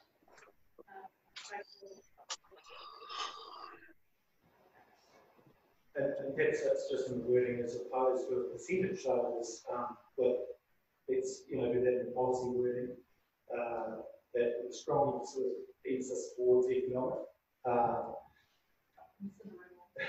yeah. Tell us how we can help you out of that. Yeah. Good word like predominant weightage of the economic well-being, but other factors that. But the underlying may be relevant. So it's not entirely economic. What I think what I'm hearing is you don't want to fund it as highly economic, that is enabled so that if the other well-beings are there, that is fine, but the predominant benefit is directed towards the economic well.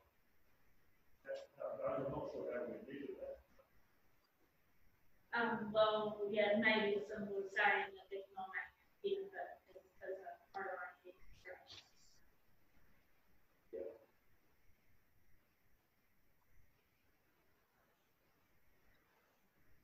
Everyone sort of comfortable around that sort of wording? Yeah, I won't sort of read. Are you comfortable? You capture that? Yeah. Okay, cool. Well, uh, happy to move that, uh, make a second, councillor Burt. Uh, all those in favour, uh, Zoom, raise your hand, otherwise say aye. Aye. Gary. Okay, thank you. Okay, so we've got a few other points, we just need to clarify with in the plans, we'll just go back to page one, so take off the wage part, which is, um, point two. Uh, we've done point three, um, we need to note point one. Uh, We need to, well, we need to discuss the Orari Back Road. Um, then the others can probably be moved together. So let's discuss the Orari Back Road and then the balance that we can be moved um, together. We go through those points. Um, so discussion around Back Road. And unfortunately, I'll put uh, to councillor Oliver. You like.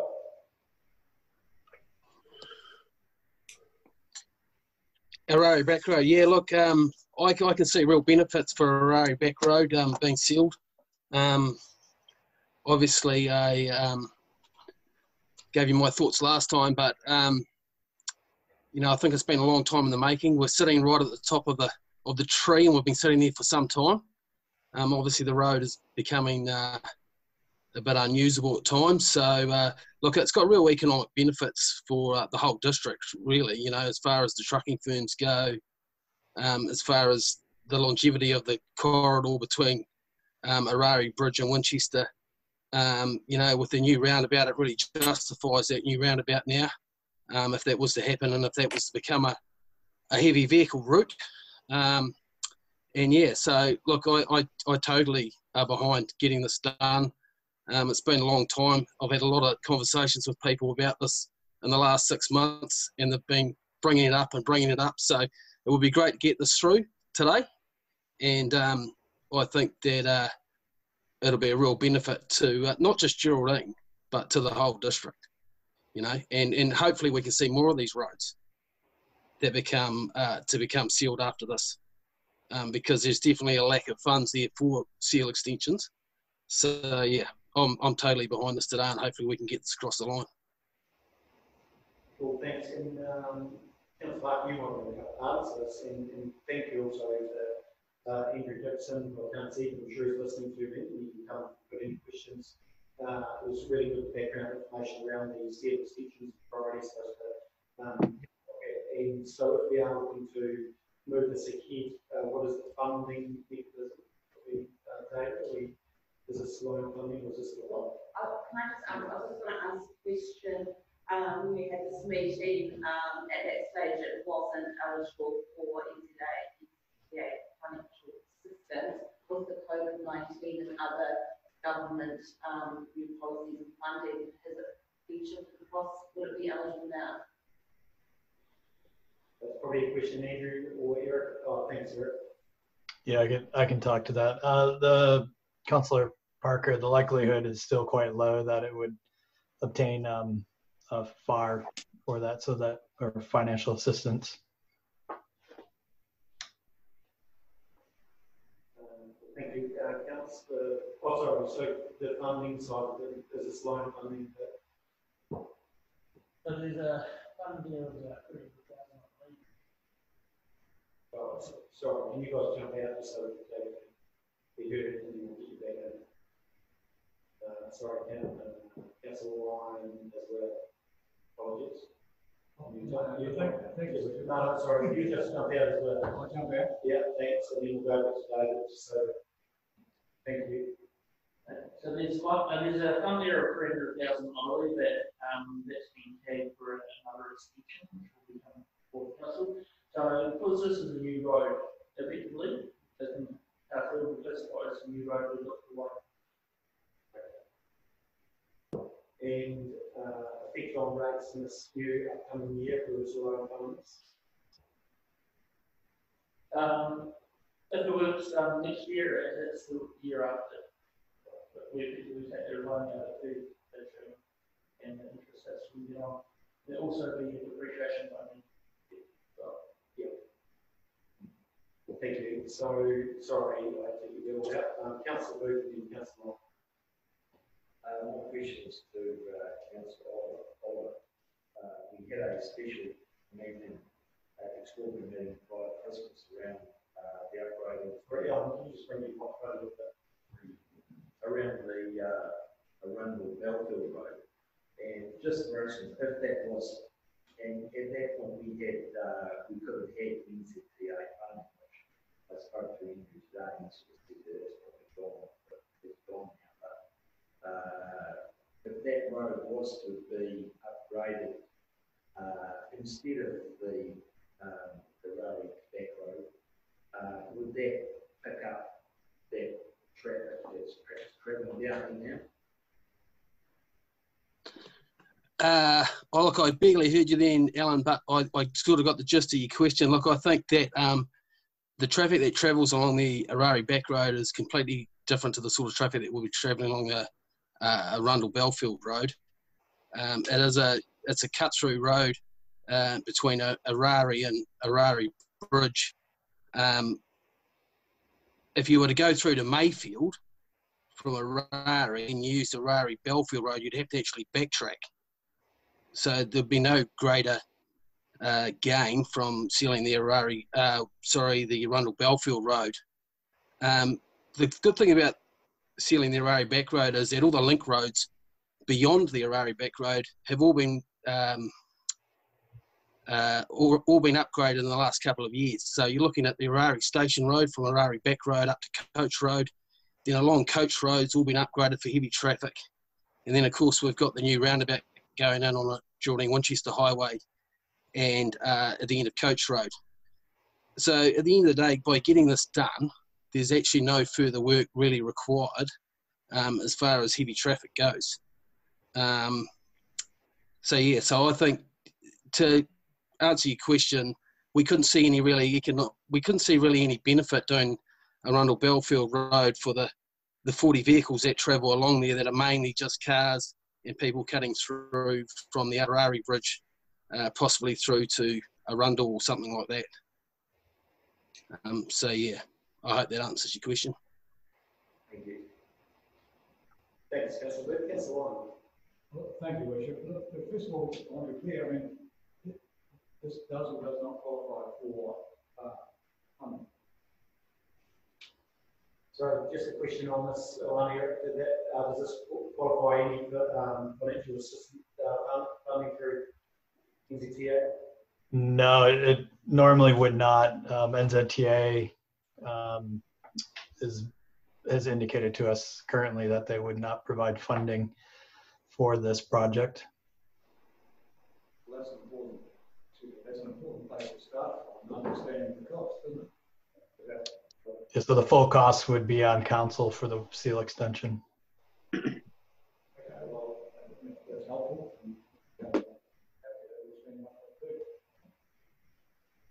Yeah, so, thanks, councillor Lyon, councillor Wood. I, guess that's where I was going. The fact that, um, we've been offered money, forty-nine percent of that other roof to be upgraded, which was gonna be about eight hundred thousand dollars to us. And we've taken care of a a problem which has been identified we had the extraordinary meeting. Um, so, um, but yeah, that's what I was getting at. And, uh, yeah, one point two million.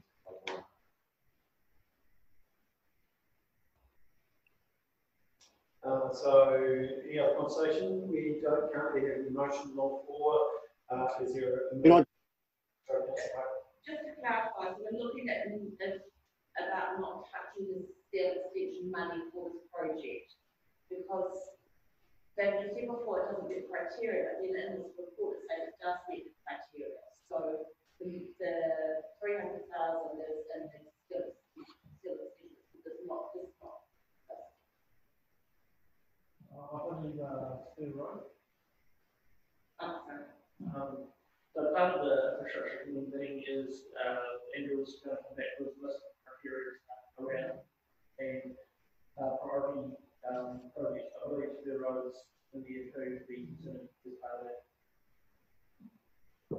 Uh, from my understanding is we haven't committed that scale extension fund for next year, so we can do that as, uh, as part of it, so that, am I correct in saying? So that should be three hundred thousand. Erica, you had a, a jump in on, on that, because we get, uh, we get some unused budget from this year, but it's probably going to sit in next year, so we still hundred thousand, and we hadn't committed to Spirit Road, because we were looking at this as a priority, obviously waiting for those, uh, that information to come from Andrew, which has, Eric, uh, you've got commentary on that, is that correct?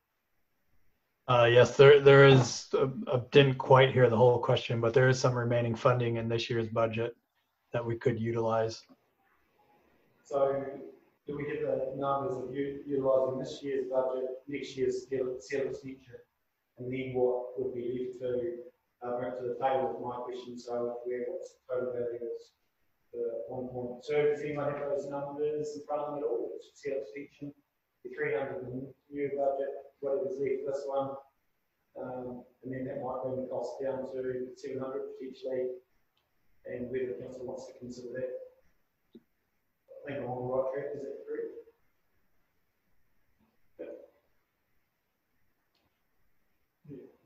Yeah, is that, is that, uh, so that's my understanding, is that what you're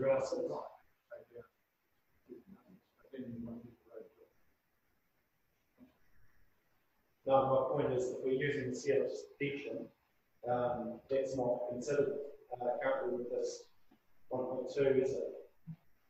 This, this is, no, so we take that out, so that brings down the nine.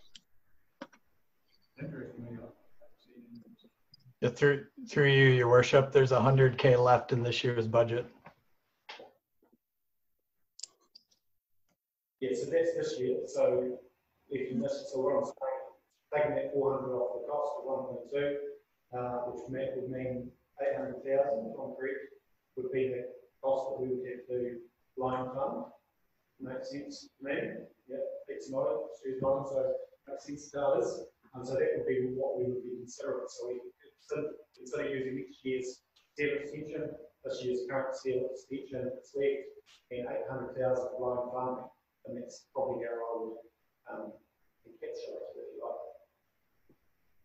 Um, councillor, Uh, well, I was just gonna suggest that, uh, uh, question to Andrew, um, what, was it costing to maintain per annum? Um, it's pretty well, that money's gonna cost us thirty-six thousand per annum. For the money to build it, so really, if, if it's somewhere around there, we'll, we probably sort of want to. approach, uh, councillor Good? We to- Oh, sorry, um, probably Eric. Yeah, I don't have the specifics on the cost, but it's uh, used extensively by heavy vehicles, so there's a high maintenance cost at the moment uh, for grading. Uh, we grade it about every two weeks. Um, and the wearing course, we renew that about every two years. that, I think if you look to the original, um, paper that came through, it had a higher cost associated with it. It'd be nice to know the exact number, but it isn't, isn't it? Um, It ha- the road has a quite extensive, it's one of our highest cost um, unsealed roads in the district to maintain. It's because of the high numbers of heavy vehicles that are using it.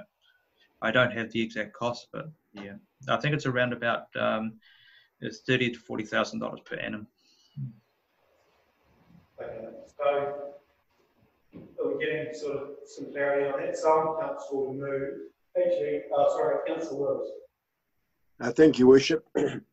Um, look, I've listened to the debate discussion. No, I'm a bit like Gavin, only pick up snippets of it.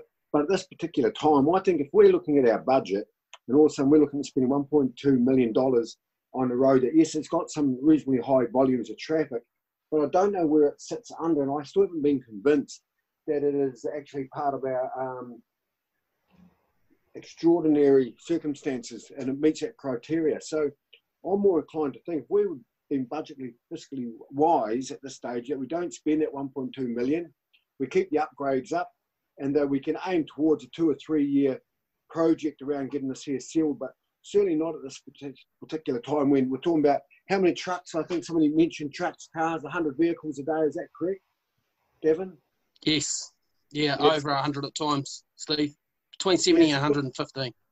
I'm more inclined to think that for the greater benefit of our whole district, that 1.2 million dollars be better sitting in our coffers at the moment, so we can determine and be more concrete about where we're going to spend that money. Because again, I spoke about it earlier on. We don't know what our forecast is going to be like, both mid and long term. So that 1.2 million is mostly better off sitting in our coffers. We keep the maintenance up on the road, maybe a bit more regular. You know, what we're talking about 30, 40,000 a year.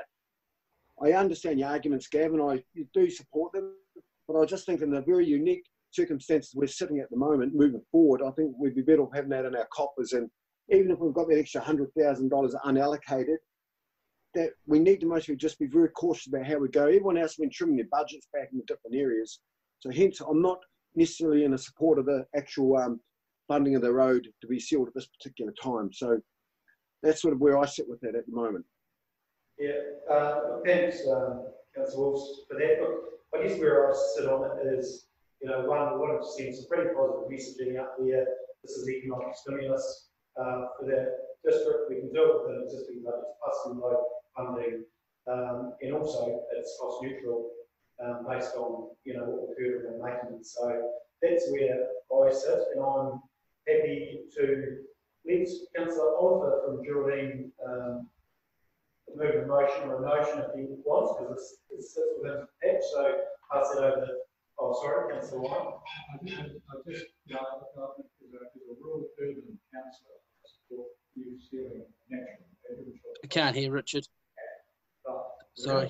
But we've got, as long as we understand that we're setting a precedent here, for that we're putting a road, a similar road. Can you, um, sorry, just bring it really close here. And we've just got to understand that we're setting a precedent in the future that we're now sealing a road that doesn't qualify for government assistance. So be careful, you know, we've got to be careful that this doesn't become template in the future because we've always been very careful to try and get funding when we can because it makes no sense not to. Uh, and Dead right. uh, should speak for themselves. In fact, this hasn't got uh, the FAR rating on it to tell them that not particularly busy road. But I, I respect what Gavin's doing and for his community, and I applaud the idea. But I just think we've got to think carefully about the precedent because we can all wheel in a road no worries at all without a FAR rating on it and ask for it to be, uh, we're going to get 20 people to moan about it and get, uh, get it broken and put the pressure on. So I'm just saying, be careful what we're walking into. I like New Zealand. Um, no, take, take your point. And I think one of the key things with this is, you know, all these things we need to be considering them, you know, based on Councillor Wood's question, you know, what is the current cost of maintaining it? For this example, um, you know, it looks like it's a, you know, pretty even, so uh, probably estimate it. Look, I'll pass over to you, Councillor Oliver. Are you happy to move that? Yeah, look, I'd like to move a motion that we uh, carry out a seal extension, obviously, on the Orari Back Road. Yeah, cool. Councillor Wood, uh, second from Councillor Wood. So put that motion to the floor. All those in favour? All right. Uh, Aye. Against. Any, Gold, you want that note, Councillor Wills? Yep, that's fine. Cool, thank you, thanks, um, team. Okay, so let's get. Thank back you. to the agenda. Your worship, was that carried? Because those in the Zoom couldn't see the others. Sorry. Kevin's worried that it was carried. Oh, sorry, Ge- uh, Gideon, yes, Gary. Let him sit on that. You just, make sure you read the newspaper. Stuff.co.nz. Um, or you can just search Matthew Little, I think it'll come up as well. Okay, so we need to get through some points, so we've got, uh, two, uh, we've achieved two, three, and, uh, five, two, three, and four, so we just wanted to move one as such, note, um, is that correct, do? No, cool, so we've got one, um, and six, which is adopt, open document, um, to table, seven, eight, and nine. Uh, some char- characters here, uh, questions? We have the group there together. Uh, so I'm talking about nine point seven, but the, um, items that we still need to, um, push through, so we've got, we've, we've done, um, two, three, and four, which is the, uh, rate, uh, increase contingency fund and the road back road, we still need to, uh, move the other recommendations.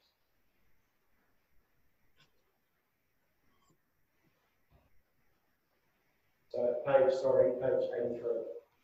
So we haven't confirmed all that, those, uh, that business. Sorry, do you want to just go into review which? Yeah, no so we haven't, so the first one we haven't actually confirmed, so let's, um, uh, notes the effect of COVID, but I think we can, um, move these items together. Um, so we've confirmed point two, which is the rate increase, go, um, consultation, uh, three, the contingency fund, and four, which is the road back road, however, we still have to confirm the others. We can probably group that. Uh, so, uh, John, you Yeah, you might want to deal with, um, given that. Oh, yeah, you can with it, I think, that is one. Yeah, with that. Consultation. So, just in, just in terms of consultation, so, um, generally within the thing, you, you know, there's consultation requirement, there's this, um, changes to long-term thing for that year. In this case, I think it's still in the situation with COVID, um, in the year, like, uh, forecast seven rates increase down to two. Um, you know, it makes sense to consult on the same thing. Um, and the consultation, so what's proposed is that you don't have time to achieve this, uh, even more than a three-week consultation, which is still, still a consultation period, um, for the end of April, but not by the circumstances. So what we're proposing is, um, uh, consultation, not a special consultative procedure that's not required, but an engagement with the community three weeks. Uh, notices in the paper for the last couple of, um, weeks of people say that coming up. Um, and then we go out with that consultation document at the end of this week. Um, we'll through the consultation and then people who, who come and present to council and hearing will be provision for that.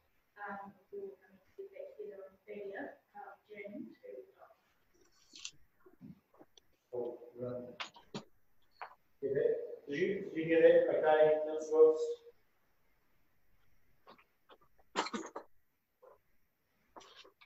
Got a bit of the gist, but difficult to pick up in between. I don't know how- whether Gavin heard it either.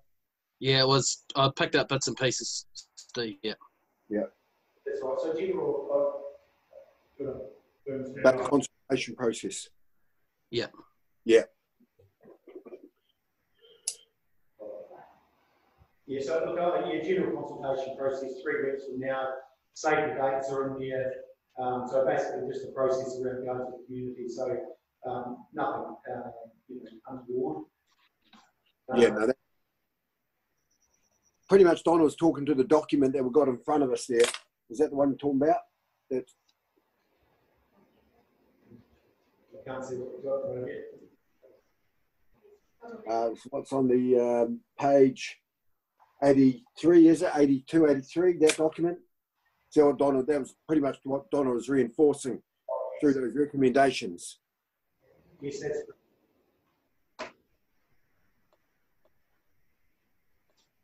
Correct or not? Okay, yep.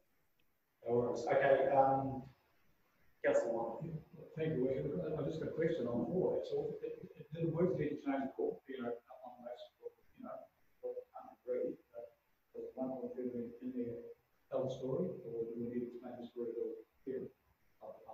So I think it's all I'm asking. That, that, going around the civil section.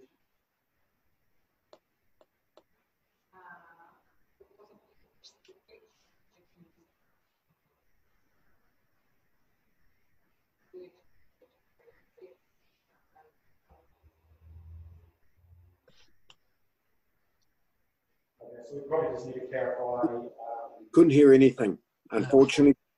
So, Rich just making a point, we just need to clarify, uh, point four, which could be around, um, one hundred of current funding for the seal extension, the, uh, three hundred from next year's seal extension budget, uh, and loan fund balance, uh, for, um, that, and so do we need to, yes, so who was the, um, who moved that one, it was, that was, sorry, course, council, so did you hear that, councillor? Just need to, um, correct that motion, are you comfortable with that? So it's just the wording that, a hundred thousand from this year's budget, three hundred thousand from next year's budget, and then balance is loan funded. Yes. Cool, and, uh, councillor, uh, Booth, you were, you were happy with that as well? Cool, so we'll just put that, that to the table, everyone's comfortable with that? And happy to submit that position, and councillor Wills, you were still against that, okay? That's all right. No, I'll go with it. That's fine. Yep. Change it. No, worries. So um, everyone's for so that motion's carried. Thank you um, for that point, Richard. Uh, so uh, yeah, Councillor Wood. I'm just looking at the next. Just looking at the next point up the road, that back I see on there is the airport car park extension, which we actually have a bird, I know, of a value of 63000 well, really know it's probably a good time to dash, just get on and do it. It's going to need to be done. It's going to be reasonably quiet out here, and the stuff is getting done. So, like you said, so this is um, Is that too late? No, uh, which point is that? 10.5.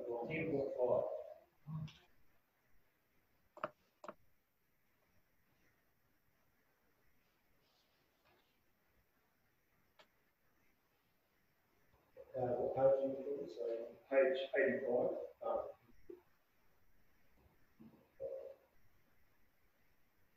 To be, okay, to, to be so I guess the they're well to, um, that back in. Now the planes are flying. Well, we are going to do the, um, the, the runway, but while the runway's been done, shouldn't that actually be done at the same time?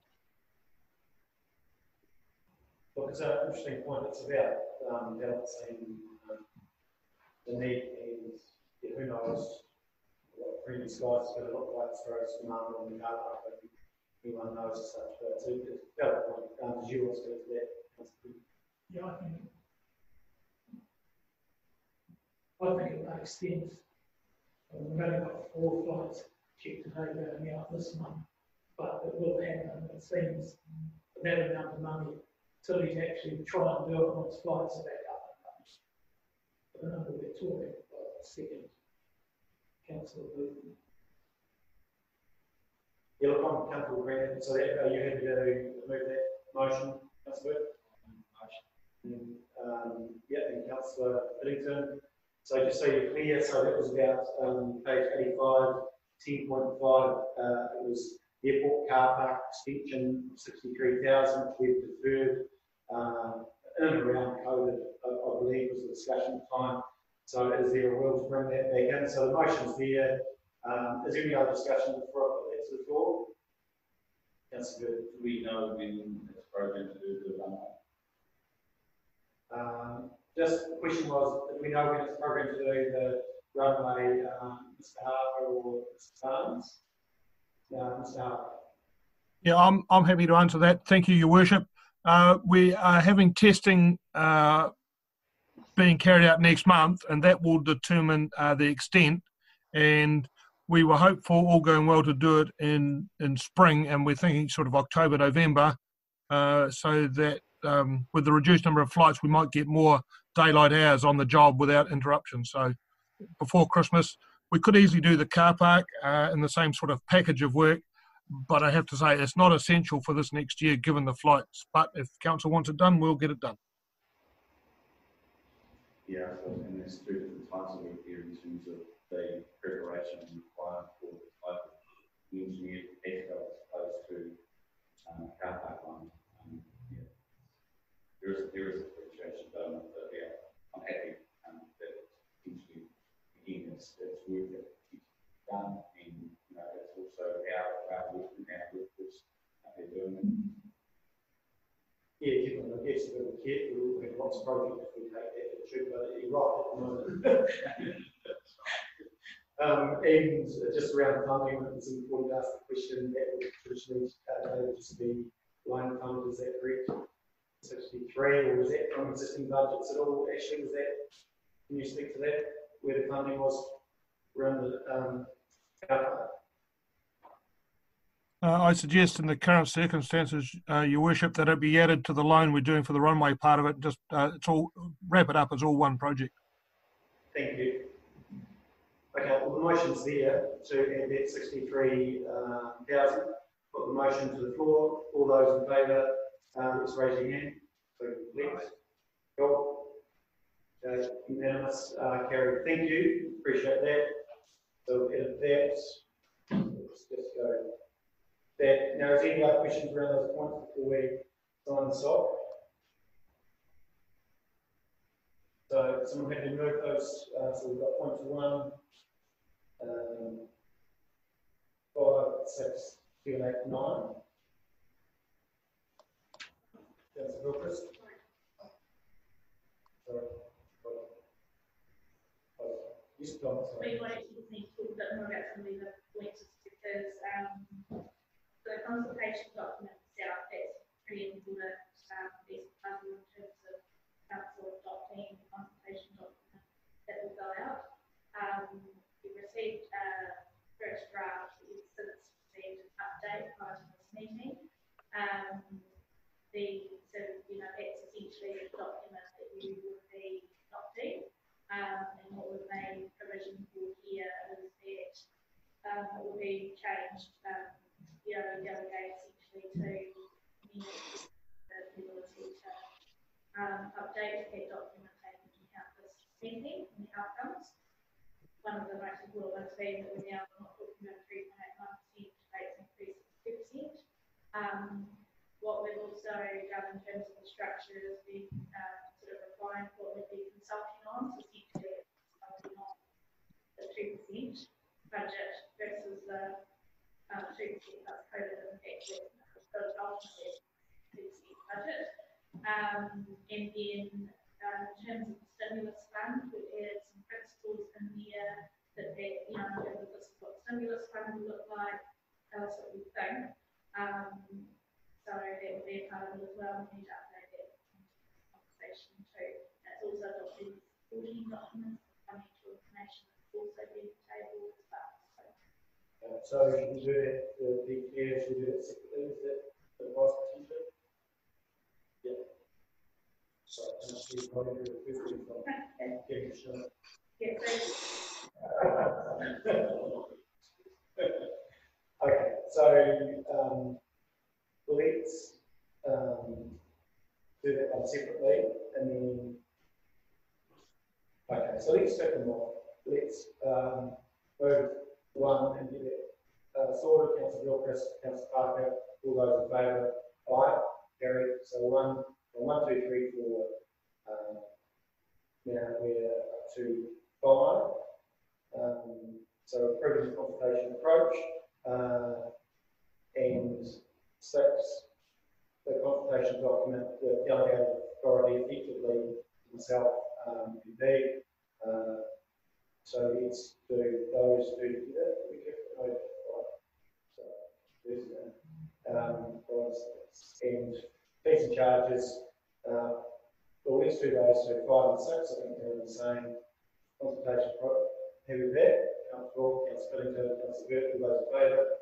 Right, cool, um, so we're going on to seven, um, proposed fees and charges, so we had discussed some changes as, um, was formally discussed. Um, so let's move that. Uh, Councillor O'Reilly, Councillor Lyon, all those in favour, please say aye. Aye. Uh, cool.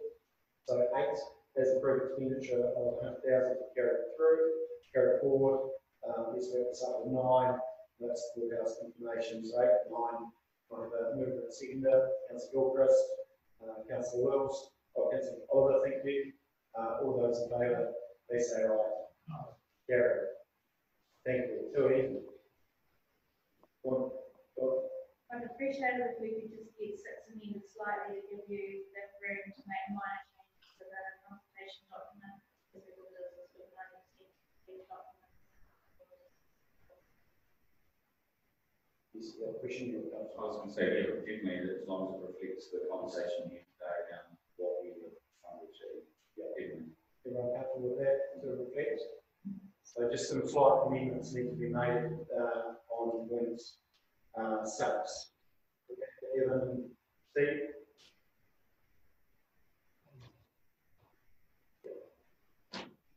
Tap, tap is used. Okay, so uh, just let the record reflect that. Um, So we done nine point seven, let's comfortable with that. Um, go to um, ten, which is consideration of any urgent business we don't have. Uh, eleven, which is a non, uh, so I'll pass over to Councillor. Thank you. This should wake everyone up. Um, wish to ask my fellow councillors to consider putting a heritage Eden World project on hold. So I believe there will be significant changes since it was agreed by prior council, particularly in the past 12 months, which will put a huge burden on their district ratepayers as well as the economic impact of COVID-19. At our last workshop, it was largely agreed the $4 million community fundraising element of the $23.2 million heritage project project would be difficult, if not impossible, to raise. That immediately puts an additional $4 million burden back on the ratepayers to fund. Have serious concerns that the estimated budget is nowhere near rigorous enough. The Theatre Royal is a three-story triple brick building, but I note there was no budgeted component for earthquake strengthening, or as far as I can tell, retaining the heritage I think almost certain they have the budget for it. Precinct project minimal capital spend on top of other infrastructure projects costing ratepayers nearly 55 million, which should be our priority. We also know the Art Gallery will be a significant spend, with an estimated 4 million needed to just get the former Grant residence reopened. Upgrading and expanding the gallery space could easily double that if it is allowed under the trust fee. The Timaru Library has a limited lifespan. The patch up of the roof is hoping to buy an additional 10-year lifespan before another spend of perhaps in excess of $20 million. COVID-19 has changed the world and most economists are talking a recession. All the business and ratepayers are generally attempting to tighten their belts and reduce their spendings. There is already pressure starting to build on local councils for lower rates. If not provide relief in certain circumstances. We need to help boost the local economy at the moment, which should be on essential infrastructure, not what has been described to me as a vanity project. I'm a fan of the arts and a vibrant Timaru, but not at any cost. A decade ago, the community funded seven million dollars towards a twenty-three point five million CBay project. There was a buzz around the project. It was well led with businesses and individuals contributing. There is no buzz around this project. Which, if we cut to the chase, is putting a new back and a second new front in the theatre, moving the museum and having some extra display space and allowing for travelling exhibitions. In 2018, just over 1% of the ratepayers gave an opinion on the matter. 300 people submitted to the council's long-term plan in favour of a total overhaul of the theatre royal. 100 said just do the Rera House, and just under that number said do nothing. The same year, the census noted Timaru district had a population of 46,000. It was not a ringing endorsement. I note when the public consulted over the theatre royal, they were only given the option, not given the option of a new state-of-the-art complex that doubles the contract It was Hobson's choice. I believe we owe the right house of consultants was done with Alpine Energy scenario before we spend millions of dollars without what I believe is a coherent strategy going forwards towards our other problematic civic spaces. That code of conduct which has been approved calls for prudent stewardship of council resources. We have recently looked at the alternatives. A new complex has more cost but has the potential to deliver a much better return. Remembering the front of the theatre was replaced just 20 years ago. So the only original pieces of the theatre after this project will be a few parts being tethered. Are we really tied to keeping it in parts? The argument for a museum is largely a shortage of space and space waste of travelling exhibitions. Are we really prepared to spend 11.4 million on display areas, neither of which are urgent in this current climate? I would like the council to take some time and consider a GLAM, a combination of an art gallery, library, archive and museum space in one, rather than the ad hoc approach we're currently taking to patch things up as we go. I believe that could save significant money in the long term if well thought out, something future generations could look back on and think we were forward looking back then. Should my fellow councillors decide to carry on I can only support the upgrade of the rear of the Theatre Royal, which would make a functional, safe space again. This is subject of the cost not blowing out. I'm not in favour of spending two point million on the front of the house foyer extension upgrade. Others around the table have argued the decisions have already been made and we need to get on with things. As a new councillor, I've contacted local government New Zealand regarding the process of the long-term plan consultation and previous council's decisions. I've been advised that never are set in stone. Councils are entitled to defer actions and reverse previous decisions. I believe it's healthy to reopen the debate when positions and other circumstances come to light. In this case, COVID-19 and state about other civic facilities. The council has also been asked to contribute, not, not fully fund the likes of speed play, Geraldine multi-sport venue, the upgrade of Aorangi Park over the track, and the Alpine Energy Rugby Stadium, all of which are also worthwhile, but we're yet to come to a consensus on. They will also stimulate the economy if we as a council enable it. I trust that all councils will receive my comments in a positive light, and I look forward to a robust discussion. Thank you. Thanks, Councillor Baker.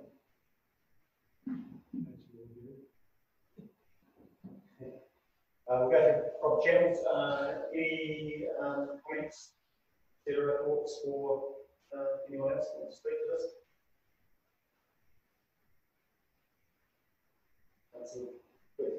To Piddington. Oh, we'll come to you. Sorry, um, Councillor we'll come to you um, soon. We're going to go to Councillor. I, um, I was, uh, right, right back at the initial planning stages of the long-term plan, back in two thousand seventeen. Uh, the council then put together a group, uh, it was sponsored by the council and paid for, uh, to give feedback around what was required moving forward and what should be going into the long-term plan. And so a group of people were put together, uh, Ben was in that uh, meeting, uh, along with other, a couple of council, councils, I believe. Um, a, a- an agency was appointed to, uh, get us underway. And with the idea that we would give feedback to the council, what was required looking forward for the next thirty years in regards to facilities and, um, and stuff for, uh, Timaru. So, um, you know, I was one of the, um, chairmen, uh, of that group, and it was a, a, a very good, strong group of, uh, Timaru businessmen, and movers that, um, were very capable and, uh, could see, yeah, we need to get involved here to ensure the direction, uh, of Timaru and the, the, the right facilities are, um, are identified and what, what we need to do.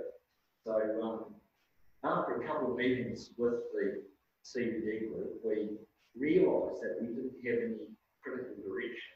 And so, um, it was, we all came to the conclusion we didn't have a common denominator or a common goal. So we, we recommended that we get a, a good, uh, high profile urban design, uh, urban design specialist in to take a stock take of our facilities, uh, here in Timaru, and that was, took everything into account around the, um, you know, where the high street was, where we should be putting the, uh, the big boxes, uh, what our strengths were, um, and, um, obviously also looking at facilities, including the theatre, and they, um, those things, the connection between the bay and the, and the city, um, transport routes, etc. So, you know, it, it was clear that we needed to get a, a, a proper urban design, uh, in to, to contribute to what we're trying to achieve. And therefore, that was going to, um, be fed into the long-term plan. And that is exactly what we thought that we'd been, why we've actually put, uh, well, the, the group had been put together for that purpose. So we went about working on that for around about a year. Um, was obviously, you, you, you were in it, right? And, um, lo and behold, all of a sudden, this consultation document comes out, asking if we want a theatre. They didn't even ask us. They didn't, we, we suggested what we thought needed to happen. They ignored us completely and just went off on a tangent. Didn't, well, this is what happened. Didn't, there was a group of people there that were willing, they weren't charging anything, and it was clear as mud. And it was to be contributed and, and given the long-term plan for the benefit of the ratepayer. A long-term plan, okay, you need to get experts to do that. That's an urban design specialist, not an officer from the council. Okay, so, so what happened was we were working away over here, which we thought we were being sponsored by the council to do, feed back into the long-term plan. Lo and behold, the consultation document came out and here we had one option. And if you were to fill out that document, you had no choice but to either you didn't know or you were supporting the, um, the theatre royal upgrade and the, the historical. So it, it certainly wasn't the way we felt as a group. We were like, well, what's the point? And uh, so, and, and here we are now. Um, the, the obvious things weren't considered, such as some of the, uh, the multi-purpose facilities which were in some reports that even council had. and um, how the theatre was unsuitable. So I guess I've got to um, agree with um, Councillor Piddington that uh, we need to revisit this whole thing. It hasn't been done. yet.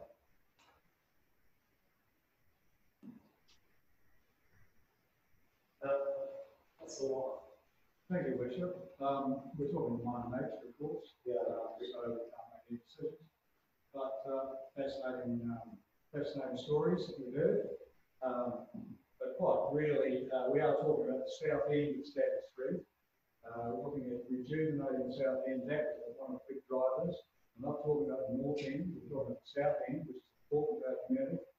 And that was one of the big drivers about get rejuvenating the south end and giving the city what it deserved around the Theatre Royal. And the Theatre Royal was the catalyst for the development. And the reasons why the councils of bought property facilitate the structure that perhaps Councillor Lee has suggested. Uh, there's room to do all those things in the future as we go along. It's quite simply doable. So I don't know what, where this has all come from. I really don't, but if it's your told you, and it's your view, I don't share it. Um, I think it's, um, it's just, uh, unimportant that, the if you talk about time and effort being put into projects over the years and schemes, that we've heard around this table ad nauseum in the past, recent times, uh, we have embarked on a, project here at, at a huge expense. The people came along with us, they wanted the project, they told us they wanted it, and we kept the promise to the citizens and ratepayers of Timaru district to continue on the project. So I, I, I fail to see why now, goodness sake, you have a to want to revisit the whole thing at huge expense after we've done the, the groundwork, spending and carrying on through as we as we've had niggling about other buildings. Um, why would we now turn back? This is the this is not the this is we're, we're in advanced mode, goodness sake. Let's get on with the project. Um, if we start now revisiting and, and rethinking uh, brainwaves on the hoof, as we've heard today in all sorts of other ways, we'll get nothing achieved with this term at all. So it will be a wonderful council, wonderful to achieve nothing. We won't get it organised or built in this term. What a legacy some people will leave. Some people are more um, committed to our districts than others and want to see something done. So let's get on and do it. That's it. Um, well, mindful that council rules was sort of in the, I don't mind, Oh, you, sorry. you, and then, and then coming back up. Oh, yeah, that's right. So councillor Wills, go to councillor Wills, and then councillor Wills. Thanks. Now, just jump over the next people in line. It's pretty hard to pick up on certain aspects, both Councillor Booth's and Piddington's discussion initially. And I've got a few things from Councillor Lyon. So I am going to get only, and I don't know what you're like over there, Councillor Oliver, but getting piecemeal bits at the moment. So um, I'll just allow the other councillors to jump in where they can. Okay, thanks. Uh, councillor Look, first of all, from first most, but I understand, I want to say straight from the, the, the get-go, in terms of your proposal, councillor Piddington, I understand where it's coming from, and, and it's, and the way you approached it, and everything you're talking about is feasible, and I know exactly what it's about. It's there is no, I'm not, I wouldn't for a second it's an um, and, and look, you know, from that point of view, yes, but from where we were as a previous council, from the understanding we had and what we were trying to achieve from a bigger picture, I just want to make it very clear that a lot of time, effort, and consideration went into there. The points that Councillor Lyon said around it was supposed to be multi-purpose, and it was supposed to take into elements of the museum and the art presentation movement. Um, and it's, and again, I can only talk that out from now. I understand from that perspective, um, in terms of, it's a shame at the moment that we're actually potentially communicating something we've forward for a shovel ready uh, project, um, that we were hundred percent behind, we want the government to come and part fund for us or put it back consideration, and now we'll, communicate, actually, we have uh, half the council advised around uh, potential for in the first place. And, and it's a shame that that's going to be communicated again, um, it's part of that. Um, it was one of the real key ones. I think you brought up, Councillor uh, Government Action, more about uh, bottom up funding for projects of this nature. And this was a real key one. And if we could have got that funding, I'm sure would have alleviated more uh, proposals around sourcing and, and in terms of money and, and what it means. That sort of thing. So there's a, there's a lot of other elements that went into that. Um, in terms of, um, the, uh, the earthquake strengthening, when you change a uh, of, a of a premises fundamentally to a percentage, in that automatically triggers the effects of the way move around the earthquake strengthening. And there are fundamental things at the back of that data which will change quite dramatically um, the percentage of earthquake. And so I understand we, we need to be very clear that the earthquake strengthening has to uh, budget. We also need to be very clear that the, the budget that we set, again, I've used this term before, we cut our cloth to fit that particular enterprise that we are envisaging. And that is a multi-use um, uh, um, proposal, and that takes into consideration what we said about the ability to actually display things from the museum in terms of um, presentations and our art gallery to extend the ability for them to have uh, an effect. Um, you know, I, I, as I say, I want to really impress upon you that there was significant consultation within the group. Now, I understand there might have a lack of communication between your group and our, our, our council because you weren't there to feed into the long-term plan. It was a particular thing around CBD, around what we need to do, bringing our stakeholders together, and then lo and behold, uh, we proceed with, uh, we need two hundred fifty thousand dollars for a plan. And that's, that's, that's exactly the way we, we need a quarter of a million dollars from you guys, um, for a plan around something that we were asking you to put together for us and help us and feed into. And, and with that, um, one of the things that we were doing, and there was plenty of um, talk between us how and why and the philosophies around the southern uh, and why we were looking at it. It's a, it's a shame certain comments were made that it was um, the project was only for a privileged few and it doesn't buy into the whole um, concept of, um, of what's better for the whole council. If you go to any uh, provincial town and look at their health in terms of what they're doing around culture and, and well-being and everything, it's, it's projects like that that you are later looked at and, and as a councillor, um, you, you're looked at as in terms of what benefit you provided for your community long-term uh, and there. And, and so there's a lot of things that tie into that. I just, I think it, it was the original philosophy or a theme that still holds true today. So that's great. And, Um, thanks, Councillor Burt. Councillor Burt, really quickly, you've been a track already. Well, Councillor Well, why did you fund twenty thousand dollars for, for nothing? Go to the CBD group, got them all underway for the specific purpose of putting, inputting feedback into your, into your, um, long-term plan, which you were negligent in not actually getting our problem urban, long-term urban design plan, like every other nation. Oh, okay, no, sorry, no, no, sorry, I don't, uh, you don't be accusing someone of negligence without being able to back it up, so, uh, refrain or. Refrain, but I'm saying that that should be part of your long-term plan. Uh, information that you would, that you had to feed in. It sounds like you're, that you sat here and you, and you decided that, okay, we're gonna, you're not, you're actually layman when it comes to urban design. All right, so it should have been a, long, and urban design specialist came and over you, looked at the priorities for our district and lined them all up in different uh, time, timelines and, and numbers around them and the benefits.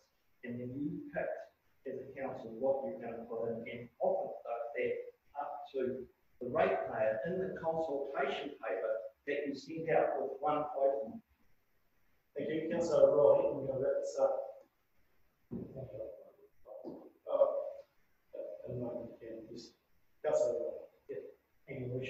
Yeah, um, we, we voted to, to, to get the federal going, wanted to, I'm basically backing up Councillor Ryan and Councillor Burt said. We wanted to enhance the south end of the town. We can build a multi-purpose building as we go along, and, um, I, I just think if we're gonna slow this up, you know, I, I absolutely personally gutted, and I know a hell of a lot of other people will be gutted. You know, we can't go back and start blaming each individual group of people over this whole thing. We're, we're set this, it's in concrete, let's go forward. Uh, very quick, right. I've counted to ten, um, that helped me because, um, you know, to be fair, I should be getting used to councillor Booth's rhetoric. You know, throw comments around a chamber that you're being negligent and other things, get communication right and let's think about it. There was no negligence involved and there was significant consultants, um, spoken to and dealt with along that path. And I just, yeah, thank you very much. Thank you. Look, um, just put at one point, I think CV group was set up in reference, uh, to feed into district plan review. Um, just, to want look, everyone's highlighted, I, I love the passion in this room. It's going to be, uh, a great couple of years, and I think we're going to do some great stuff here. I think you've highlighted some challenges, there's always going to be challenges with projects. And it's up to us as dem- dem- democratically elected group of individuals to work together and get the best outcome. So I take the point. I would also like to make it clear, and please, all of us, go away and read our standard orders, because that will be the last time uh, someone makes a speech that is pre, pre, uh, prepared, um. Three point eight point five, members shall not read the speeches with permission of the chairperson, but may refresh the memory by reference to notes, and that is it. So please be mindful of this, be mindful of your code of conduct and the remarks you can make to other members of this council, and um, let's fly by the rules, okay? I um, would be disappointed if I saw references to those to those speeches in the paper. I'd say I'm happy for everyone to speak their mind, um, but a speech of that sort of nature, in breach of our standards has been sent through uh, through the um, Herald, that would disappoint me. You can all write your points down and speak to them. Quite simple. We're all playing with the same rules. Right, thank you. I think that brings that to an end. Um, we are now moving to no item 12. Public forum items uh, require consideration. So we move to 13, which is exclusion of the public. Put your hand up, Devin. What's that, sorry? Oh, sorry, I missed. Councillor Oliver, yep, you quick. Yeah, sorry, sorry, Nigel. I just want to go back to, to Stu. and I think I need to have a say on this. Um, look, I think he's brought up some really good points, and I think that the um, I, I think that uh, something needs to be done around that uh, theatre, the theatre, someone a place for those guys to go. I think that you know, I, I look at Timaru and I see lots of older type buildings, and I think we've got a really opportunity here to join some of those with with some of those older buildings coming to the end of their life to be able to make something really good out and, and by utilizing it into a multi a better multi-purpose type uh, building which will be modern and will have less upkeep and uh, will have less uh, obviously less maintenance in the future will have low cost to the council but obviously there'll be an initial quite a big initial cost um, look, I think the goalposts have shifted quite remarkably, um, not just COVID. I mean, we, we probably need to stop blaming everything on COVID. Um, I think it, it's definitely changed the landscape on things. But um, I think, uh, you know, we'll, we'll have to look at Stafford Street. You know, what is going to have, happen in Stafford Street in six months? How is that picture going to look? Um, you know, is revitalising the South End really an option now? Um, so, yeah, so I, look, I just wanted to have my point of view. I, I agree with several points that Councillor Piddington's made um, and obviously other points that other councillors have made as well. But I think we wanted a good, robust debate, and that's what we've got. So um, that was really good. But yeah, I, I just like to see something more modern, to be honest. I mean, I'm a bit sick of just seeing old, old, old, old.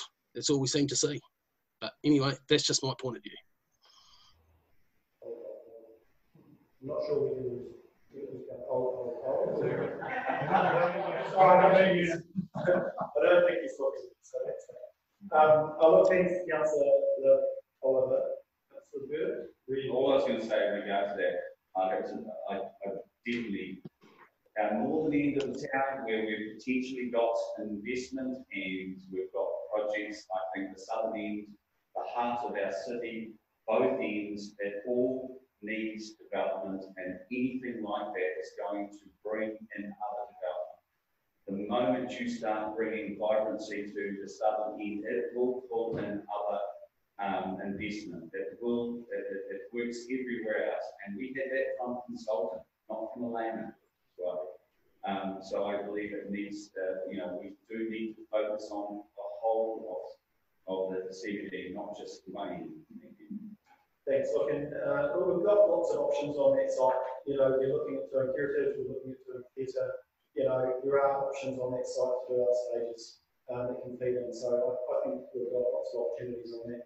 Um, but, uh, do appreciate you bringing this to council, council Piddington, um, but we won't be doing any head speeches in the future. Thank you, so we need to move to the exclusion of the public. Um, uh, move it, councillor Lyon, councillor Riley, all those in favour? Aye. Carry, on. thank you.